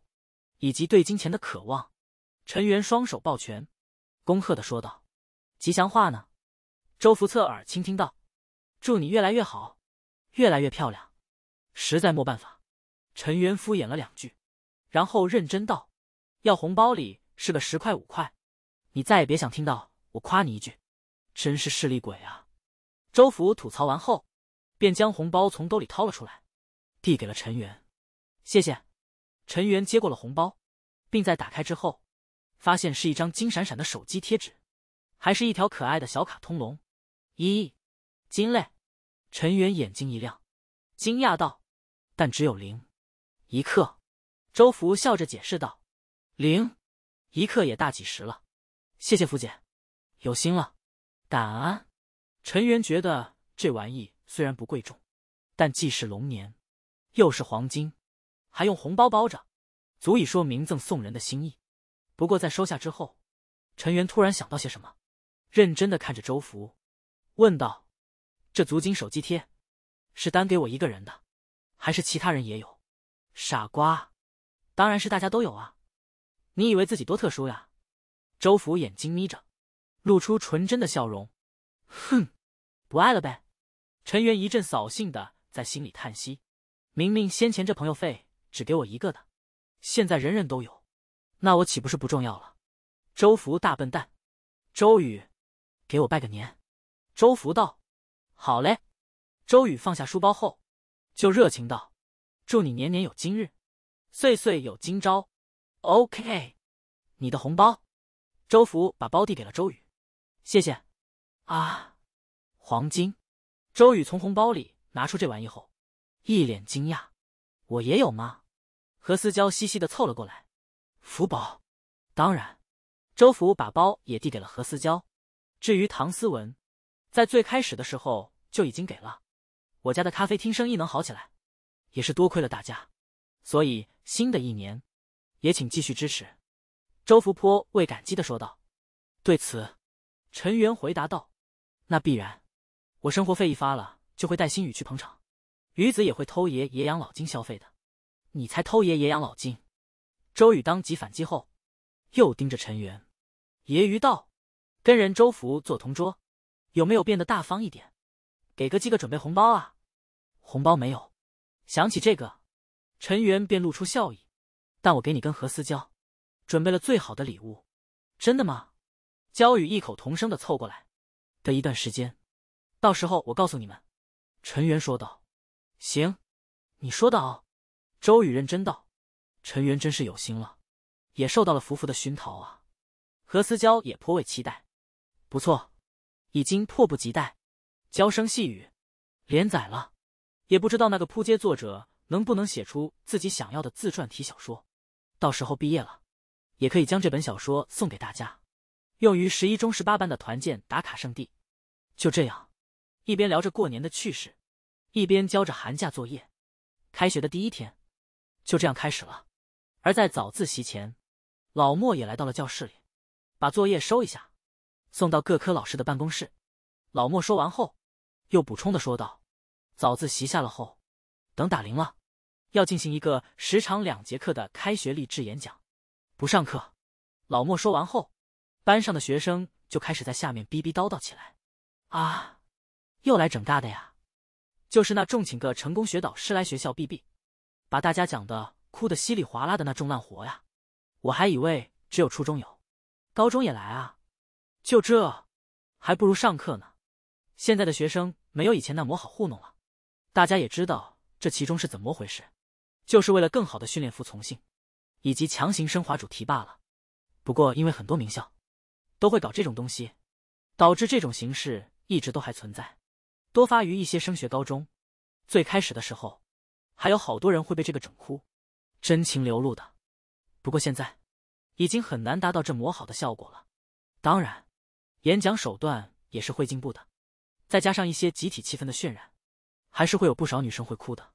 好了好了，见大家在下面多嘴多舌，老莫便说道：“学校组织这个活动也是为了收心，好好配合教官老师，不能是卖书吧？”老莫没说完，下面就悠悠的问了一句：“肯定不能是卖书啊！”老莫当即反驳，但内心也不太确定。毕竟他对学校的道德并没有多魔将的自信。以前就有一些学校搞这种催泪的励志演讲，把大家都整哭，甚至家长跟学生还抱头痛哭了。最后就开始卖书卖碟片。但十一中毕竟是以升学为目标的省实验，应该不至于恰这种烂钱。估计还是想着动员一下，让大家更有奋进的劲头，就跟去那重军训基地一样，磨练心智。算了，磨一下也好。就这样。早自习结束，铃声响起，大家便排着队从教室里出来，一起下楼，在操场集合。因为高一还有几天才开学，而高三末时间整这玩意，所以大操场上就只有高二的学生，总共一千多人，按照住平时做操的队列这样排序，然后在国旗下，一个穿着白衬衫、西装、皮带系在腰上。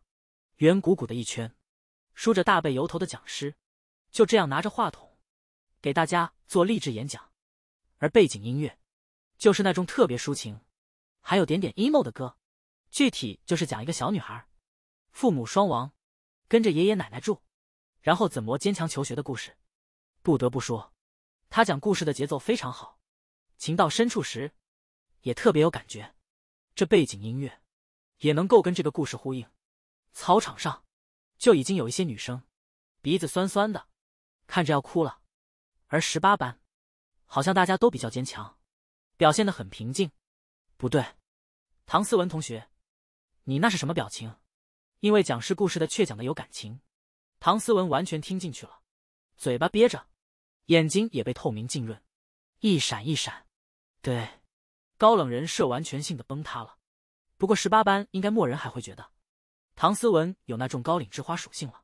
只能说，幸好是在十一中讲，要是也去四中演讲，陈元德担心的不行。别人是被故事感染，而夏新宇完全就是故事里的这个人。四还要多久啊？就在陈元这样想的时候，站在他前面的张超握着大腿，有些心累的说：“咋了？”我刚才就看你脚，好像有点别扭。陈元好奇的问：“上个星期扭了，现在还没好，又不知道这个演讲啥时候能休息一下。”张超说道：“你跟老莫说一下，回去休息吧。”陈元建议说：“算了，只是有点累，倒不是很疼。”张超摆了摆手，不想搞这种特殊，况且又不是完全站不了，况且作为班长，这种时候不在。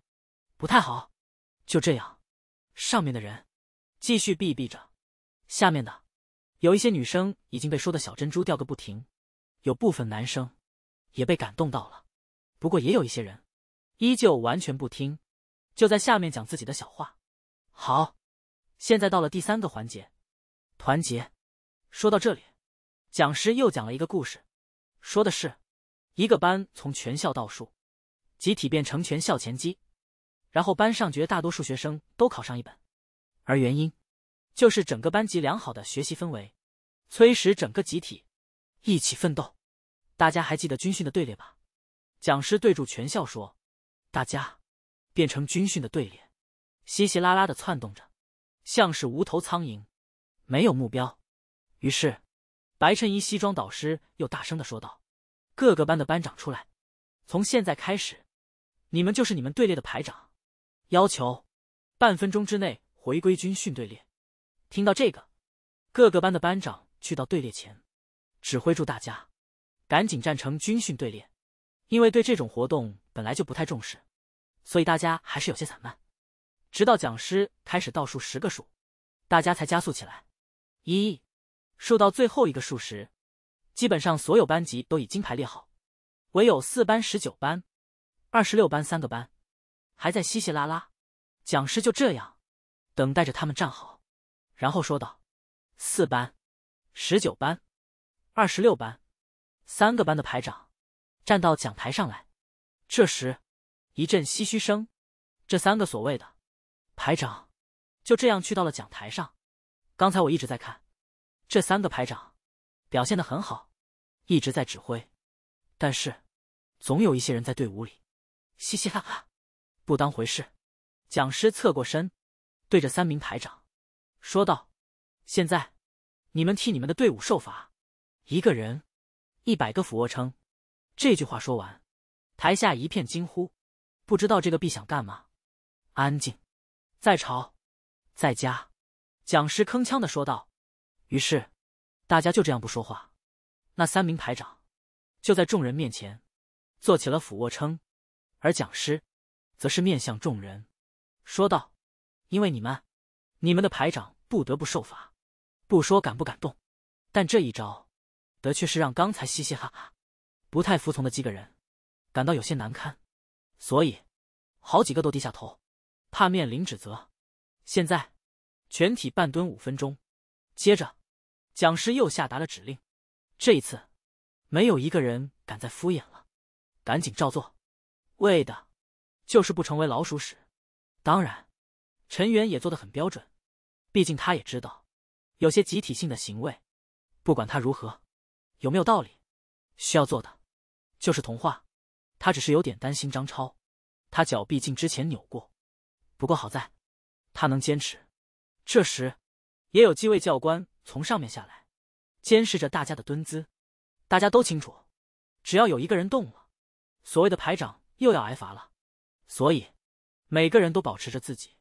而就在这时，班上的胖哥于嘉诚突然一个支撑不住，歪了一下。负责这一片的教官当即就发现了十八班的排长出列。听到这个，于嘉诚眉头一皱，闭上眼睛，愧疚的都不敢直面张超。而张超也没办法，只好起身，走到那魔教官的前面。十八班动了，排长上来，一百个俯卧撑。讲师指着十八班的队列，说道：“张超没办法，只好向前走去。”而大家也都发现了，他的脚步有点不稳，但是每个人都不敢说。这个时候说话跟动应该是一样的，也要害排长受罚。于是大家就这模眼睁睁看着张超往讲台走去。这时，十八班人群里，后排一个男生突然站了起来，从队列中走出来，当住所有人的面把张超拉住：“你干什么？”于是教官严厉呵斥道，而大家也这模震惊的看着陈元，不知道他要干嘛。陈元完全没有搭理教官。而是对张超说：“你回去吧，我替你。”不用，回去吧你。陈元拍了拍张超的臀，淡淡道：“没办法。”张超也知道自己现在上去再做俯卧撑，肯定会把扭的脚整得更加严重，所以连忙回到队里，对教官解释道：“我脚刚扭，做不了俯卧撑，我同学带我。”教官看了眼他的脚，而后又对陈元吼道：“你！”喊报告莫，但他发现这人就好像是聋了一样，依旧是不听自己说话，也不看他一眼，直接往讲台上走去。这下子，教官愤怒不已，而讲师注意到了这一点，点了点头，接着说道：“排长脚扭了，替排长受罚。”嗯，很不错的团结精神。说完，他又话锋一转：“但是不能够没有组织纪律。”出列的时候，喊了报告没有？问完后，他就把话筒递给了陈元，让他来认错。唉，陈元在心里叹了一口气，真不想在这个时候出头，没办法，他只好对着话筒，诚恳的认错。那就二百个呗。第三百八十八章和洪涛的偏袒。原本大家都是担心被教官带住而屏气凝神，十分紧张，生怕乱动会害自己的班长受累。但这个时候，陈元对那名讲师的回应，让有人不禁将目光聚焦过去。而因为有人扭头，所以大家都看了过去，甚至还在一些偏僻的后排，彼此间窃窃私语：“元神太刚了吧？本来就是脑瘫活动，刚的好啊！而且如果是元神的话，让他承认错误是不可能的。毕竟人到了那个份上，多多少少有点能随心所欲。但这些毕教官……”都是那重不知道轻重的二逼，感觉要爆。除了其他观众，最在意的还是十八班的学生们。其中张超心情最为沉重复杂，毕竟陈元是因为自己脚扭了，不能上台去做俯卧撑出来，所以他觉得自己应该解释一下。可这个时候，他又怕自己出来，旁边那个教官又来一句：“谁允许你讲话？”然后继续给陈元加码。所以。只能够隐忍，但愿不要爆发什么冲突。唐思文之前还被那个讲师说的故事而感动的掉小珍珠，可现在陈元上去之后，他的心情一下子紧张起来。视线里只有陈元，他为了张超受罚，而且现在还跟讲师起了冲突。这样下去不会有事吧？咬着嘴唇，攥着拳头，周福也十分生气。刚才陈元拍张超臀的时候。他还看得挺感动，可现在只觉得恶心，恶心这种搞活动的。而之所以恶心，也是因为太真实了。明明所有学生都知道莫意义，浪费时间，但偏偏好多学校都会搞这种事情。他先前的高中就弄过这重力制演讲，非得搞得大家哭成一片，才觉得达到了目的。有些不哭的，还会被教官白眼。对于学生而言，陈元绝对不是刺头。或者老鼠屎，相反，这种替同学受罚的行为是大义，所以此刻的反派跟英雄特别的鲜明。陈元这样说过后，讲师愣了一下，因为国产学生这个时候基本上都会承认错误，而这也达到了教育的目的。可他对这种活动丝毫不放在眼里，连同住自己跟教官都视为草芥。当然，他做过这模多次活动，还是偶尔会遇到不配合的，所以他拥有丰富的经验，完全不慌。因为校方一般都是支持活动方的，培养出服从性更强的学生，于他们而言，百益无害。既然如此，那就回归活动的本质，好好培养你们欠缺的团队精神和服从意识吧。出列前不喊报告的行为，是不符合军训要求的，所以现在你额外的受罚，就不是因为大家了，而是你自己。强调完后，讲师说道：“那就做两百个俯卧撑。”一般来说，高中生的极限就是三四十个，体力强一点的可能会多一些，但也只有五十个左右。之所以喊一百个，就是让他们做不完，而到那时再配合音乐，就可以进行催泪的团队演讲了。你们的排长哪怕做不下去了，依然在坚持。现在有一个机会，你们可以替代他。不过十个俯卧撑。只能够抵他一个，然后就会有人主动喊到出列，开始做俯卧撑。到后来，人会越来越多，而这就达到了教育的目的。至于这个喊两百个的学生，则会因为他的俯卧撑最多，到时候最后做完，成为万众瞩目的教育模板。想到这里，他就忍不住在心里发笑。就这样，看着这个学生俯下身，姿势十分标准的坐着，这小子。看起来还挺强壮的，估计真的能做七八十个吧。不过毕竟是学生，能强到哪里去呢？之前也有些刺头，仗着自己是体育生，而且的却是做俯卧撑的好手，做完了一百个。但那个时候，他就会无中生有的挑刺，就说队列里有人动，继续给他加码。反正总是有应对策略的。学校花钱请他们来，自然要把活给他们整好，不然以后。还怎么继续接单？站在办公室门口的围栏前，看住楼下的大操场，何洪涛也算是全程目睹了这一幕。虽然有些远，他也认出了这个男生是陈远。他好像是因为同学脚扭了，所以才提出要替他做俯卧撑。然后那个讲师就想借机教育一下，结果就看到这一幕，何洪涛心情有些复杂。这个活动自然不是他提出来要做的，为石魔。因为四中就莫搞，致力于成为四中第二的十一中，怎么会有自己的创意呢？摸着建军过河就行。之所以提出要搞这个，也是快要退休的韩书记说励志活动很好，能够加强学生的集体荣誉感，再加上也可以搞一个版面，用在宣传上。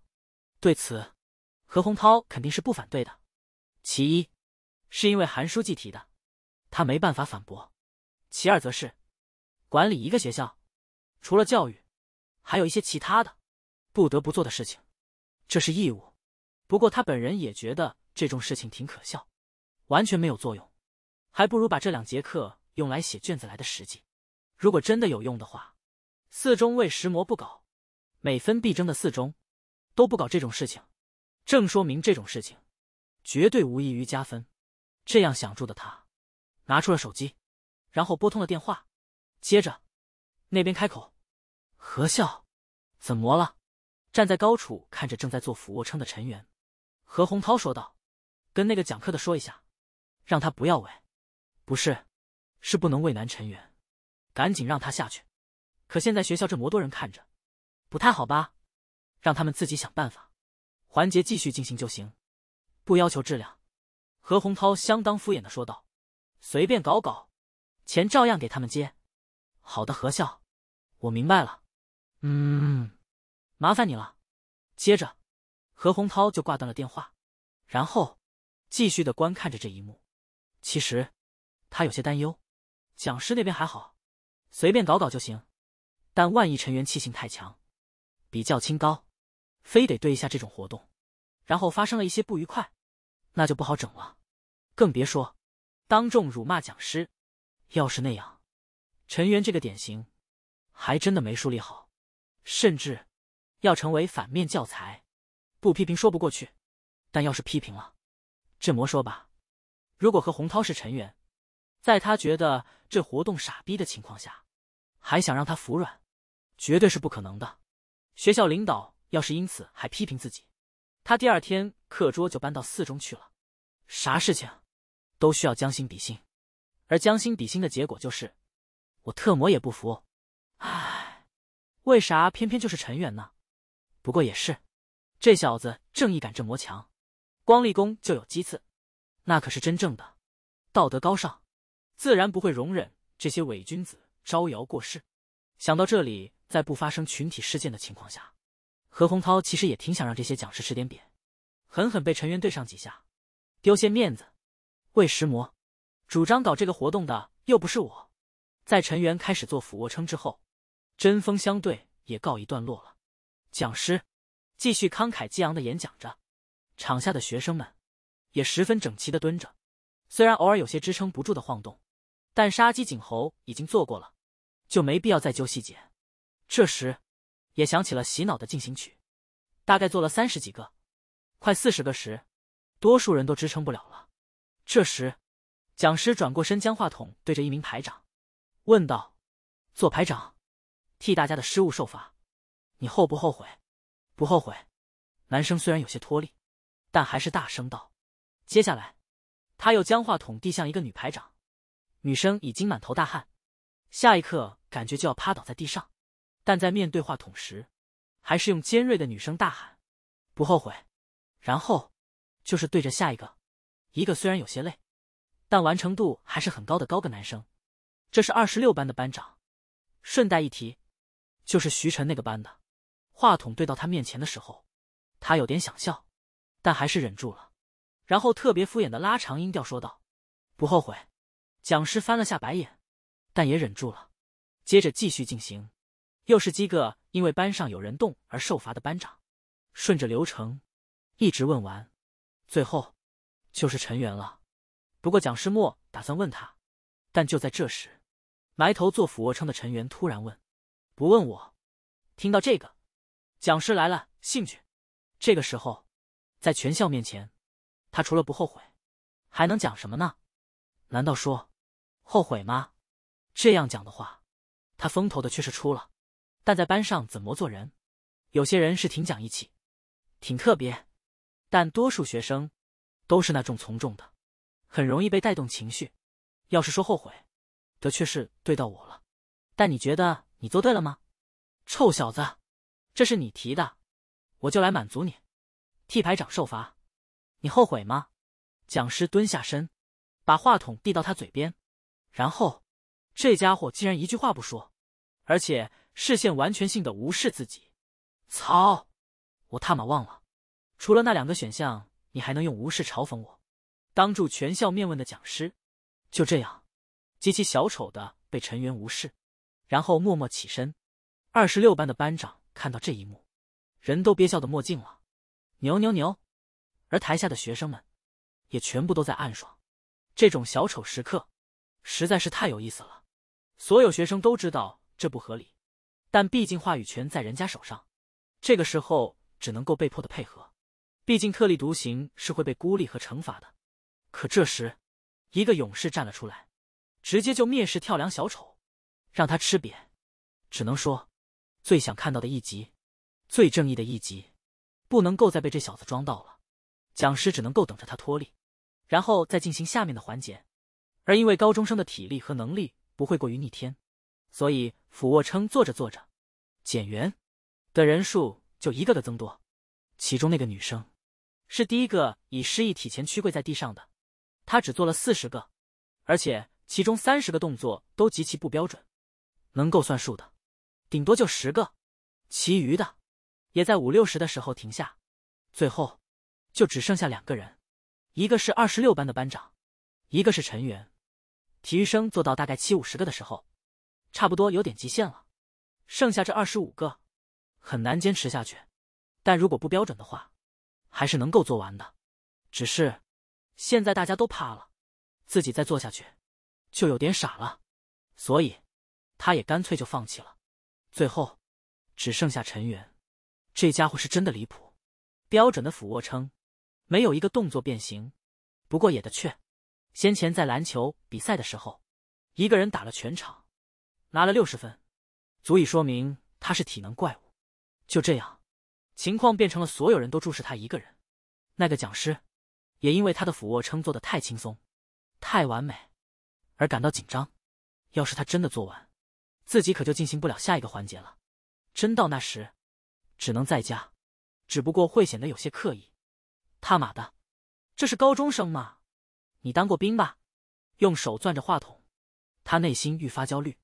然而，在大概一百一十个的时候，陈元突然皱眉，紧接着保持住弓住的动作，停了下来，就像是力量在这一刻突然全部卸下一样。这种情况也是有的。如果身体绷得太紧，强行的锻炼，身体会在临界时突然的脱力。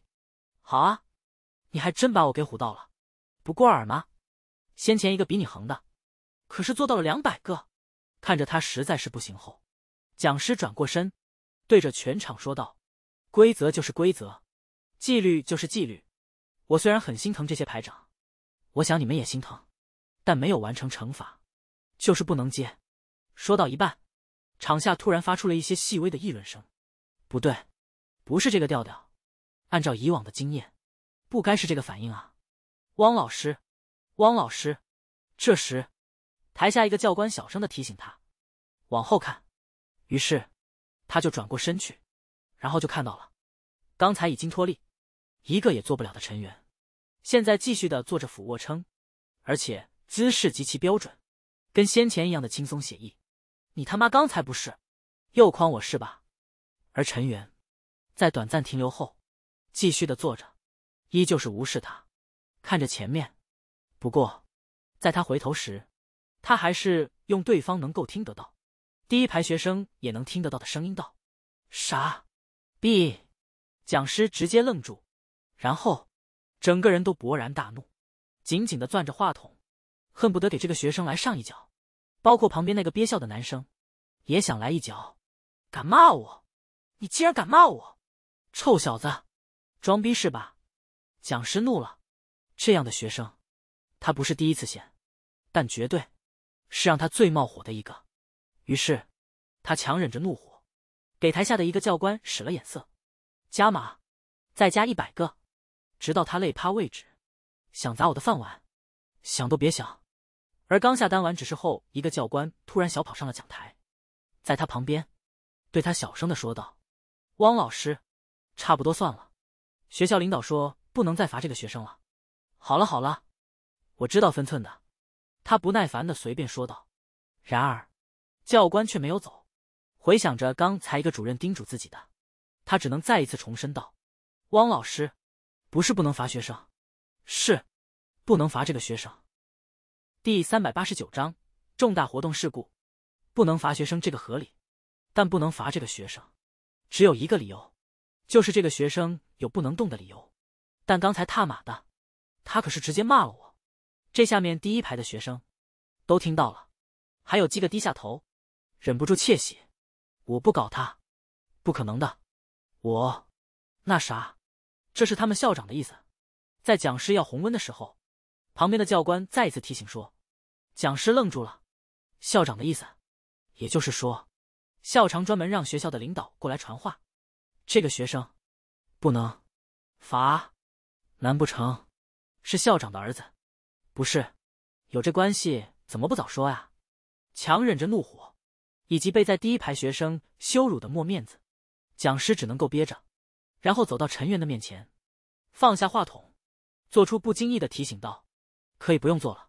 然而这句话并没有丝毫的作用，这小子完全不听，依旧是继续的做俯卧撑，距离二百这个数字一点点逼近。这小子气性太大了，而且更关键的是，自己还不能够动他。要是真让他做完，接下来的那个环节就会显得略微有些尴尬，无法达到教育的目的，也说明不了集体的力量。这就好像。在宣扬一种单打独斗，个人脱离集体之后，也能够成功的反面教材。你他妈的，真可恶呀！这小子，讲师变得咬牙切齿，恶狠狠盯着他。怎么回事？这 BYD 的好像不演讲了，在等什么？刚才好像有人跟他说了啥，而且好像也不咋抓纪律了。这么多人说话，也不加俯卧撑数量了。刚才该不会是学校跟着 B 要求了什么吧？说明学校还是有点良心的。那因为啥呀？感觉是在护陈元。的确，哪有七百分的学生被当反面的？不过陈元这臂力，这核心是真的牛逼啊！想做他女朋友啊？你不男的吗？台下的学生基本上都看明白了，从刚才讲师没有说完的那番话，足以说明他的目的，就是想通过排长们经过了努力，但还是没做完俯卧撑这一点，进行下面的环节。但陈元打破了他的这个计划。如果陈元做完了，他绝对会有点懵，不知道接下来该怎么办。只能说，乐子人狂喜。早就想吐槽这个煞笔活动了，现在终于有人来制裁这群家伙。好多学生，不仅这一次，之前也经历过这样的活动，甚至有倒霉的。小学、初中、高中都被拖拉到操场进行这重力制教育。你要说百日拼搏，那的确有点意义。毕竟最后一把了，必须要好好打。你现在搞这玩意，除了恶心人，毫无作用。就在大家期待的时候，突然又传起了小话。刚才元神好像骂那个人傻逼了，所以他就红温了。操，这魔猛啊！怪不得他脖子一下就红了，太爽了，就想看这笔吃瘪的样子。就是沙比，说话的人越来越多，站在前面的教官也有些麻，管也不是，不管也不是，只能够装死，当默发声。毕竟现在不让加法，单纯的训斥和整理队形毫无意义。还有，那个男生真是屌，做了快一百八十个动作，没有一丁点变形，这踏马得有多强的力量啊！此时，站在十八班附近的那个教官，看着讲台上做俯卧撑出风头的男生，气得已经咬紧了牙关。刚才他出列的时候，没有看过自己一眼，就像是当他不存在一样。这才是最极致的羞辱，自己的每一句话，他都没有回应。等下回到队列，他八成还是要忽略自己。不行，绝对要让这小子喊一声报告。区区一个学生，这魔嚣张，欠收拾吧。陈元的身体素质是一点点加强的。他用进度条打篮球那段时间，他就发现了自己提升的不仅仅是投射的进度，身体素质。也会因为高强度的比赛而一点点的提升。给沈小冉按摩的时候，亦是同理，手劲会越来越大。而这魔长时间过去了，他早就变成了超级战士。做这二百个俯卧撑的时候，他实际上一点感觉都没有。老实说，再加几百个应该也是一样的，这也合理。没有足够的身体素质，怎么承受这魔多次高强度的使用超子？不仅力量、专注。和记忆等等，都是同步加强了的。一百九十二，一百九十三，一百九十九，二百。做完最后一个后，陈元就起身了。这时，他看向了面色铁青的讲师，这个肥头大耳的家伙，现在已经跟死猪没有什么区别了。做完了，陈元淡淡道：“他依旧是冷眼看着陈元，庞福这样做，就能够怎么样伤害到他，或者报复回去一样，又或者……”这样的表情会让他出气缓解，毕竟他蔑视了，哑巴了，不说话我就下去了。当然，陈元也不会惯着，直接用前排学生全部都能够听到的音量，当即诘问：“卧槽，牛逼！哈哈，调调调，太帅了！元已经到这个份上，下面的学生也是肆无忌惮起来。而再一次被直接羞辱的讲师，因为脑子里记得校长的叮嘱。”完全对陈元无可奈何，滚下去！他倒是想这样说，但只能够在心里这样歪歪。以这个男生的脾气，再加上可能，或者说绝对是权贵之子，自己要是这样说了，他绝必不会下去，甚至要在讲台上跟自己对喷。这样的话，这场活动就出了舞台事故，直接卡在这里，出场费就不太好接了。更严重的是。现在网络这么发达，下面还有人在拍，这个要是传出去了，那么他再掐这碗饭，就有点难了。他们这种团队主要的就是靠在各个学校里进行演讲，以及卖书赚钱。如果让别人知道，他连一个学生也镇不住，那其他学校还怎么会邀请他来？他并不是镇不住学生，像这样的学生，他真的是轻松拿捏，找理由一直加法俯卧撑就行。但问题在于，今天自己倒霉，踢到了硬板，再加上学校也不支持自己，不让他按照自己的专业素养来。我输的不是你，是你爹，懂吗？在内心阴阳之后，讲师拿着话筒说道：“十八班的排长做完了俯卧撑，可以回到队列了。”这句话说完，台下基本上了解到状况的学生们一下子就热闹起来了。是真的牛逼，两百个俯卧撑就这样做完了，而且这个币还不敢乱加法。元神的又一大胜利啊！魏石魔要说又，大家是挺热闹。但陈元这个时候也知道该收敛收敛。的确，他可以从他面前走过，直接嘲讽一句：“归男，你的演讲就跟你的人生一样，都是垃圾。”这样做，百分百能让他跳脚翻脸。如此这般，演讲也毁了，是爽到了，但无疑是给何宝的工作添麻烦了。要是他不替自己撑腰，陈元闹就闹了。可刚才他听心声，知道了是何洪涛要求的。不许搞自己，那就这样吧，像个将军一样，满载住荣誉回归。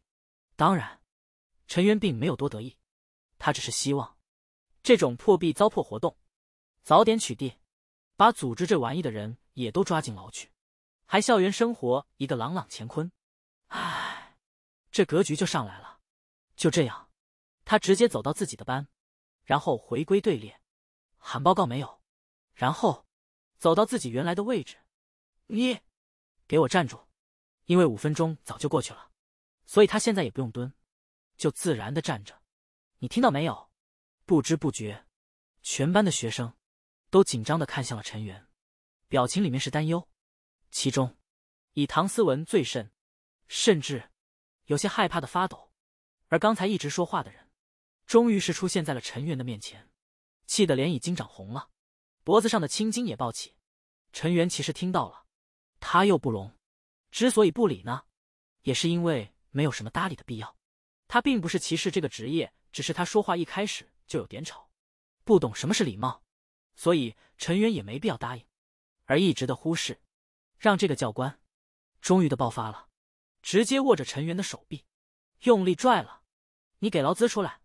有点奇怪，魏石魔。这魔轻松，这个男生比我还高。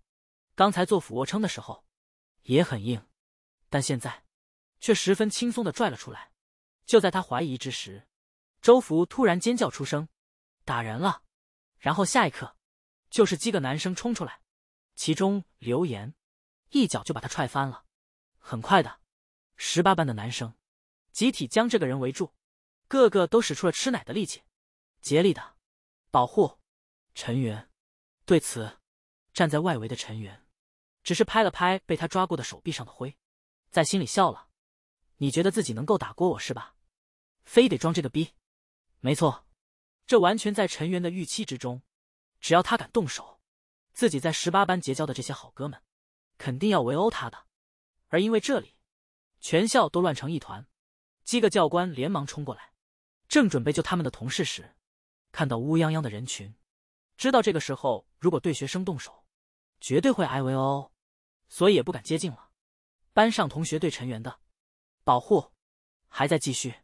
张超在旁边等了一会儿后，便上前拉住学生：“好了好了，陈元没危险了，停手。”这时，陈元也帮助维持起了秩序：“哥几个停手，我没事，你们小心被打。”旁边几个教官人都看傻了，我们的人在单方面挨打。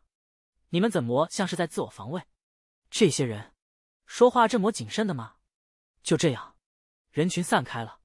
那个穿着迷彩服的教官，像是毛毛虫一样的缩在地上，抱住头，身上全是脚印。你们这是什么校风？胆大妄为，目中无人！在黄主任办公室里，讲师拍着桌子，愤怒的吼道。而在他一旁，就是一个头上缠着绷带。鼻青脸肿，手背上全是血，刚擦过碘伏的教官。这是一场重大的活动事故，是第一次，这么严重。先前也打过，但挨打的是学生。这十一中的风气是真的彪悍，毕竟也是教官先动的手，这没办法的。对此，黄主任回应道：“怎么就我们动手了？”汪讲师愤怒的说道：“那个学生受了一点伤吗？没有受伤，但是他们全班都佐证，教官的却是动手打人了。”黄主任娓娓道：“我没打他。”肿住脸的教官想说话，但一说话，整张脸都在疼，所以在龇牙咧嘴之后，沉默了。没打怎么会引起公愤的呢？一个人能说谎，所有人都在说谎吗？黄主任反问。他知道。这些人是想要赔偿，但纯粹是在做梦。索要赔偿这事，对于家常来说，学校可能是 T 五，但对于一切社会群体，学校妥妥的 T 零。你能找我们要到一分钱的医疗费？做梦哦！几百块钱营养费还有可能。你这样说，那我知道了。瞪住黄主任，汪讲师愤怒的站起身，说道：“我找你们校长，这件事情没完。”黄主任没办法，只能挤出一个笑容，想去就去呗。你在我这里，还能够要到几百块钱营养费。找校长的话，他可不怕你们哦。就这样，汪讲师带着受伤的教官，十分愤怒的朝着校长室走去。校长室只有两个人：陈元、何洪涛。走进去之后，陈元是沉默的，一句话也没有说，而何洪涛则是伸了伸手。意思是让他坐，于是陈元坐了下来，何洪涛也坐了下来，不过，是直接坐在办公桌上，跟陈元面对面。陈元知道这个活动是自己毁掉的，而毁掉这个活动，对于学校而言，则是一个重大的教学事故。老实说，陈元还是有点亏欠的。当然，只针对何洪涛，所以。哪怕何宝现在生气的批评他几句，他也虚心接受。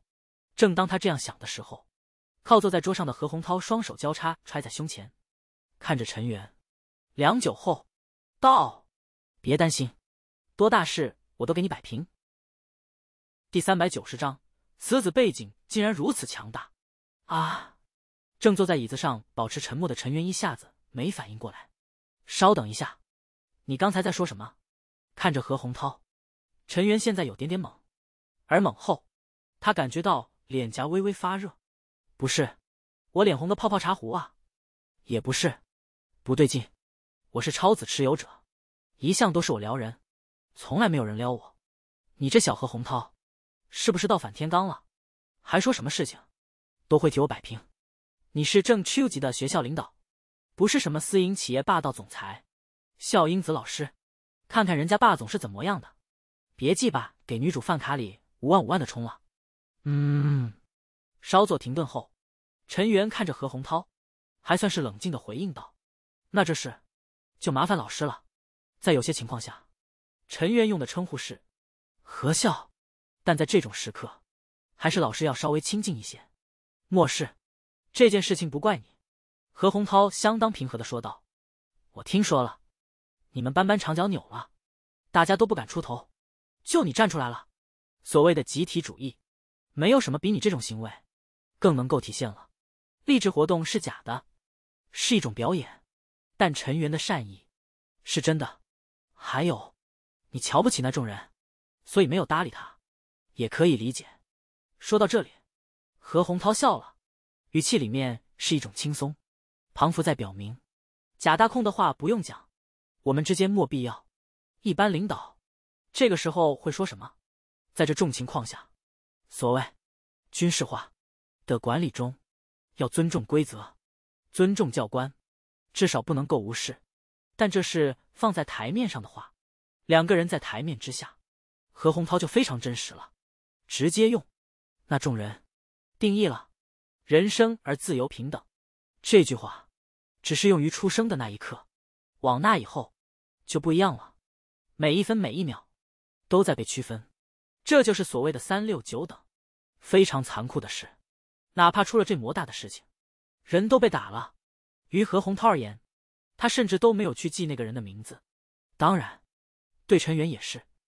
我是希望这个活动顺利进行的，也没有想当刺头，但偏偏就遇到了这种事情。后来那个人会那魔疯狂，也出于我的意外。无论怎么样，还是给学校添麻烦了。陈元诚恳的对何洪涛说道，而且他还真的是这样想的。如果校长不是何洪涛，自己跟他完全没交情，他也没有主动召自己，那陈元才不管这鸡巴破事呢。直接就不吃牛肉了，只能说，他的解释是对何洪涛一个人的。我懂，你这魔理解学校也挺让人感动的。对此，何洪涛笑了笑后说道：“其实有些事情，我们都是不情愿做的。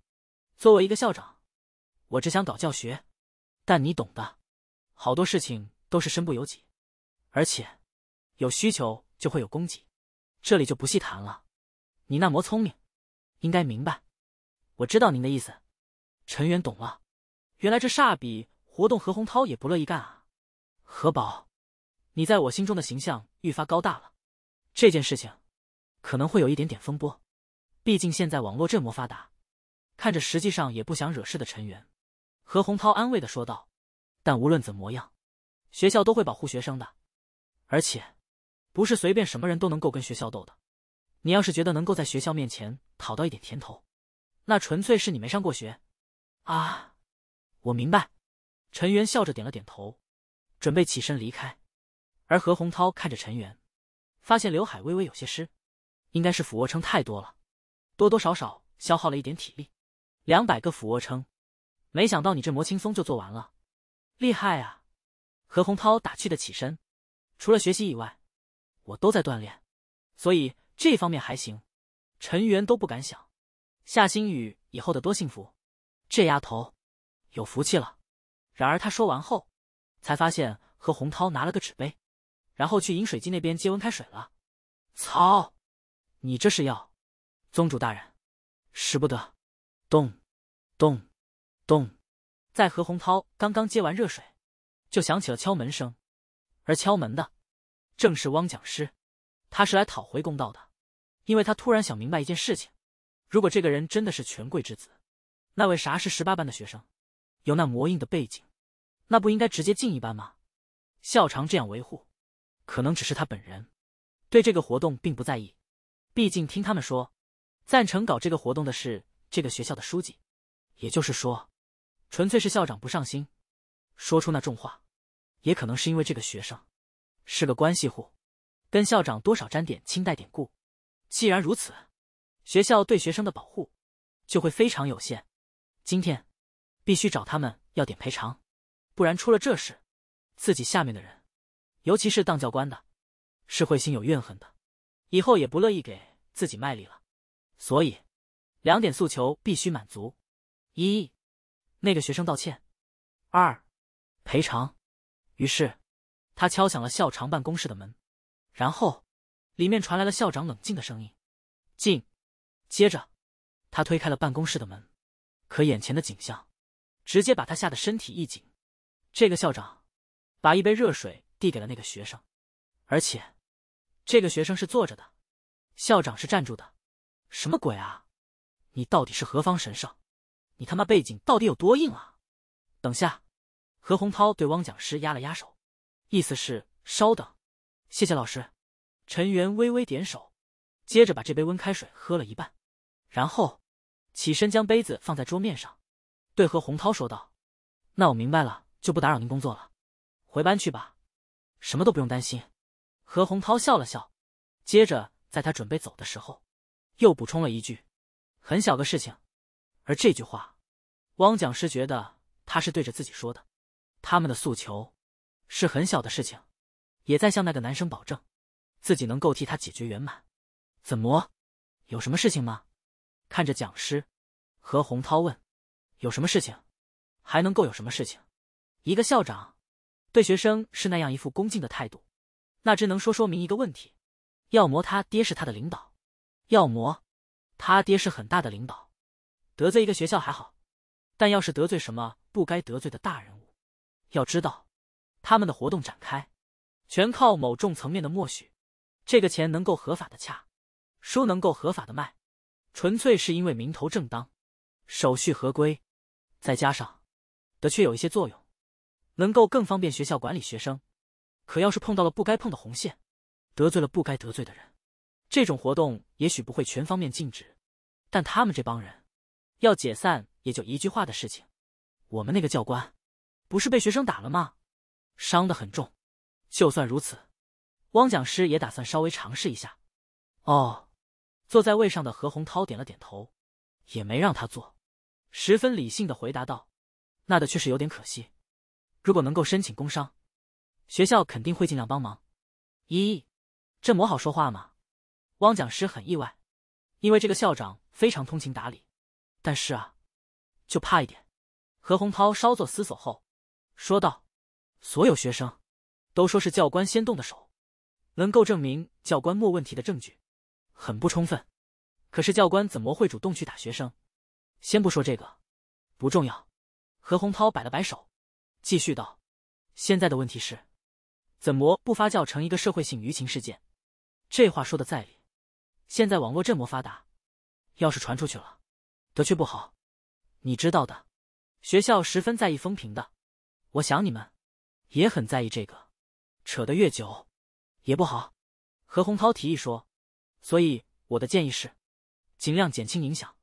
这事就算了，那我们那个教官伤的这么重，多少要有点补偿吧？汪讲师只求道：“补偿？那你觉得是我们学校赔？”何洪涛笑了，还觉得有些搞笑的反问：“还是让那个学生的家长赔？”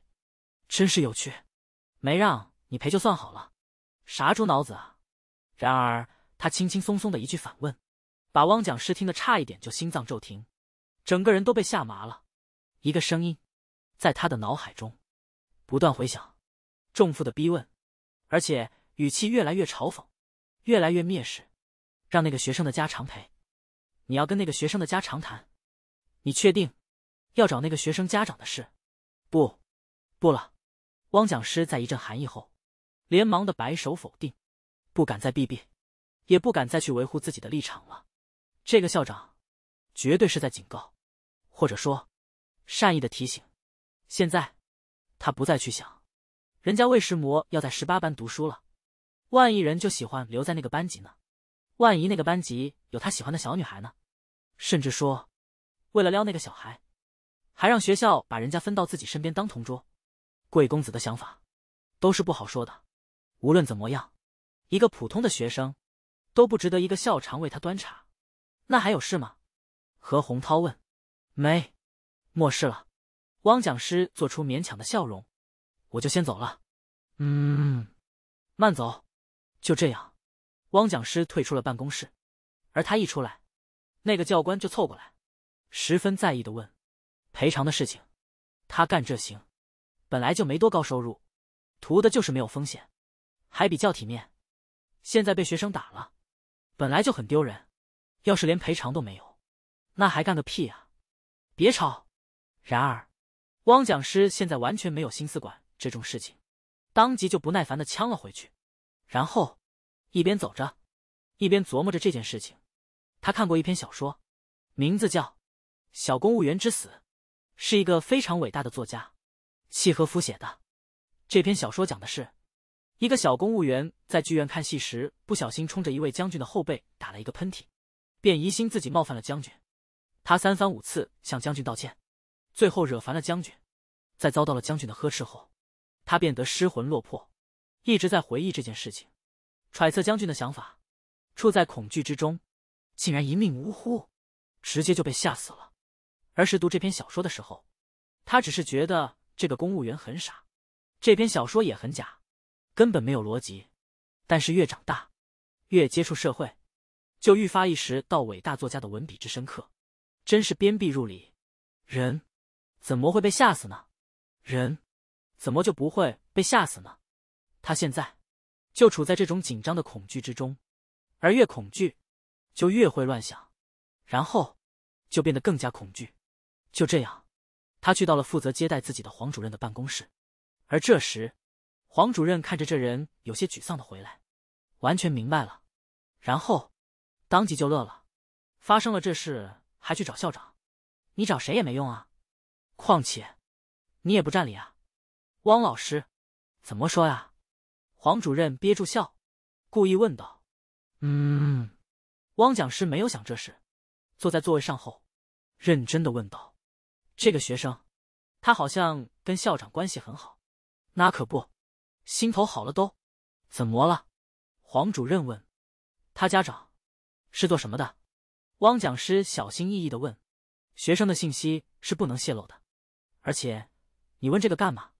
黄主任警惕道：“我只是好奇问一下，他家里是干嘛的？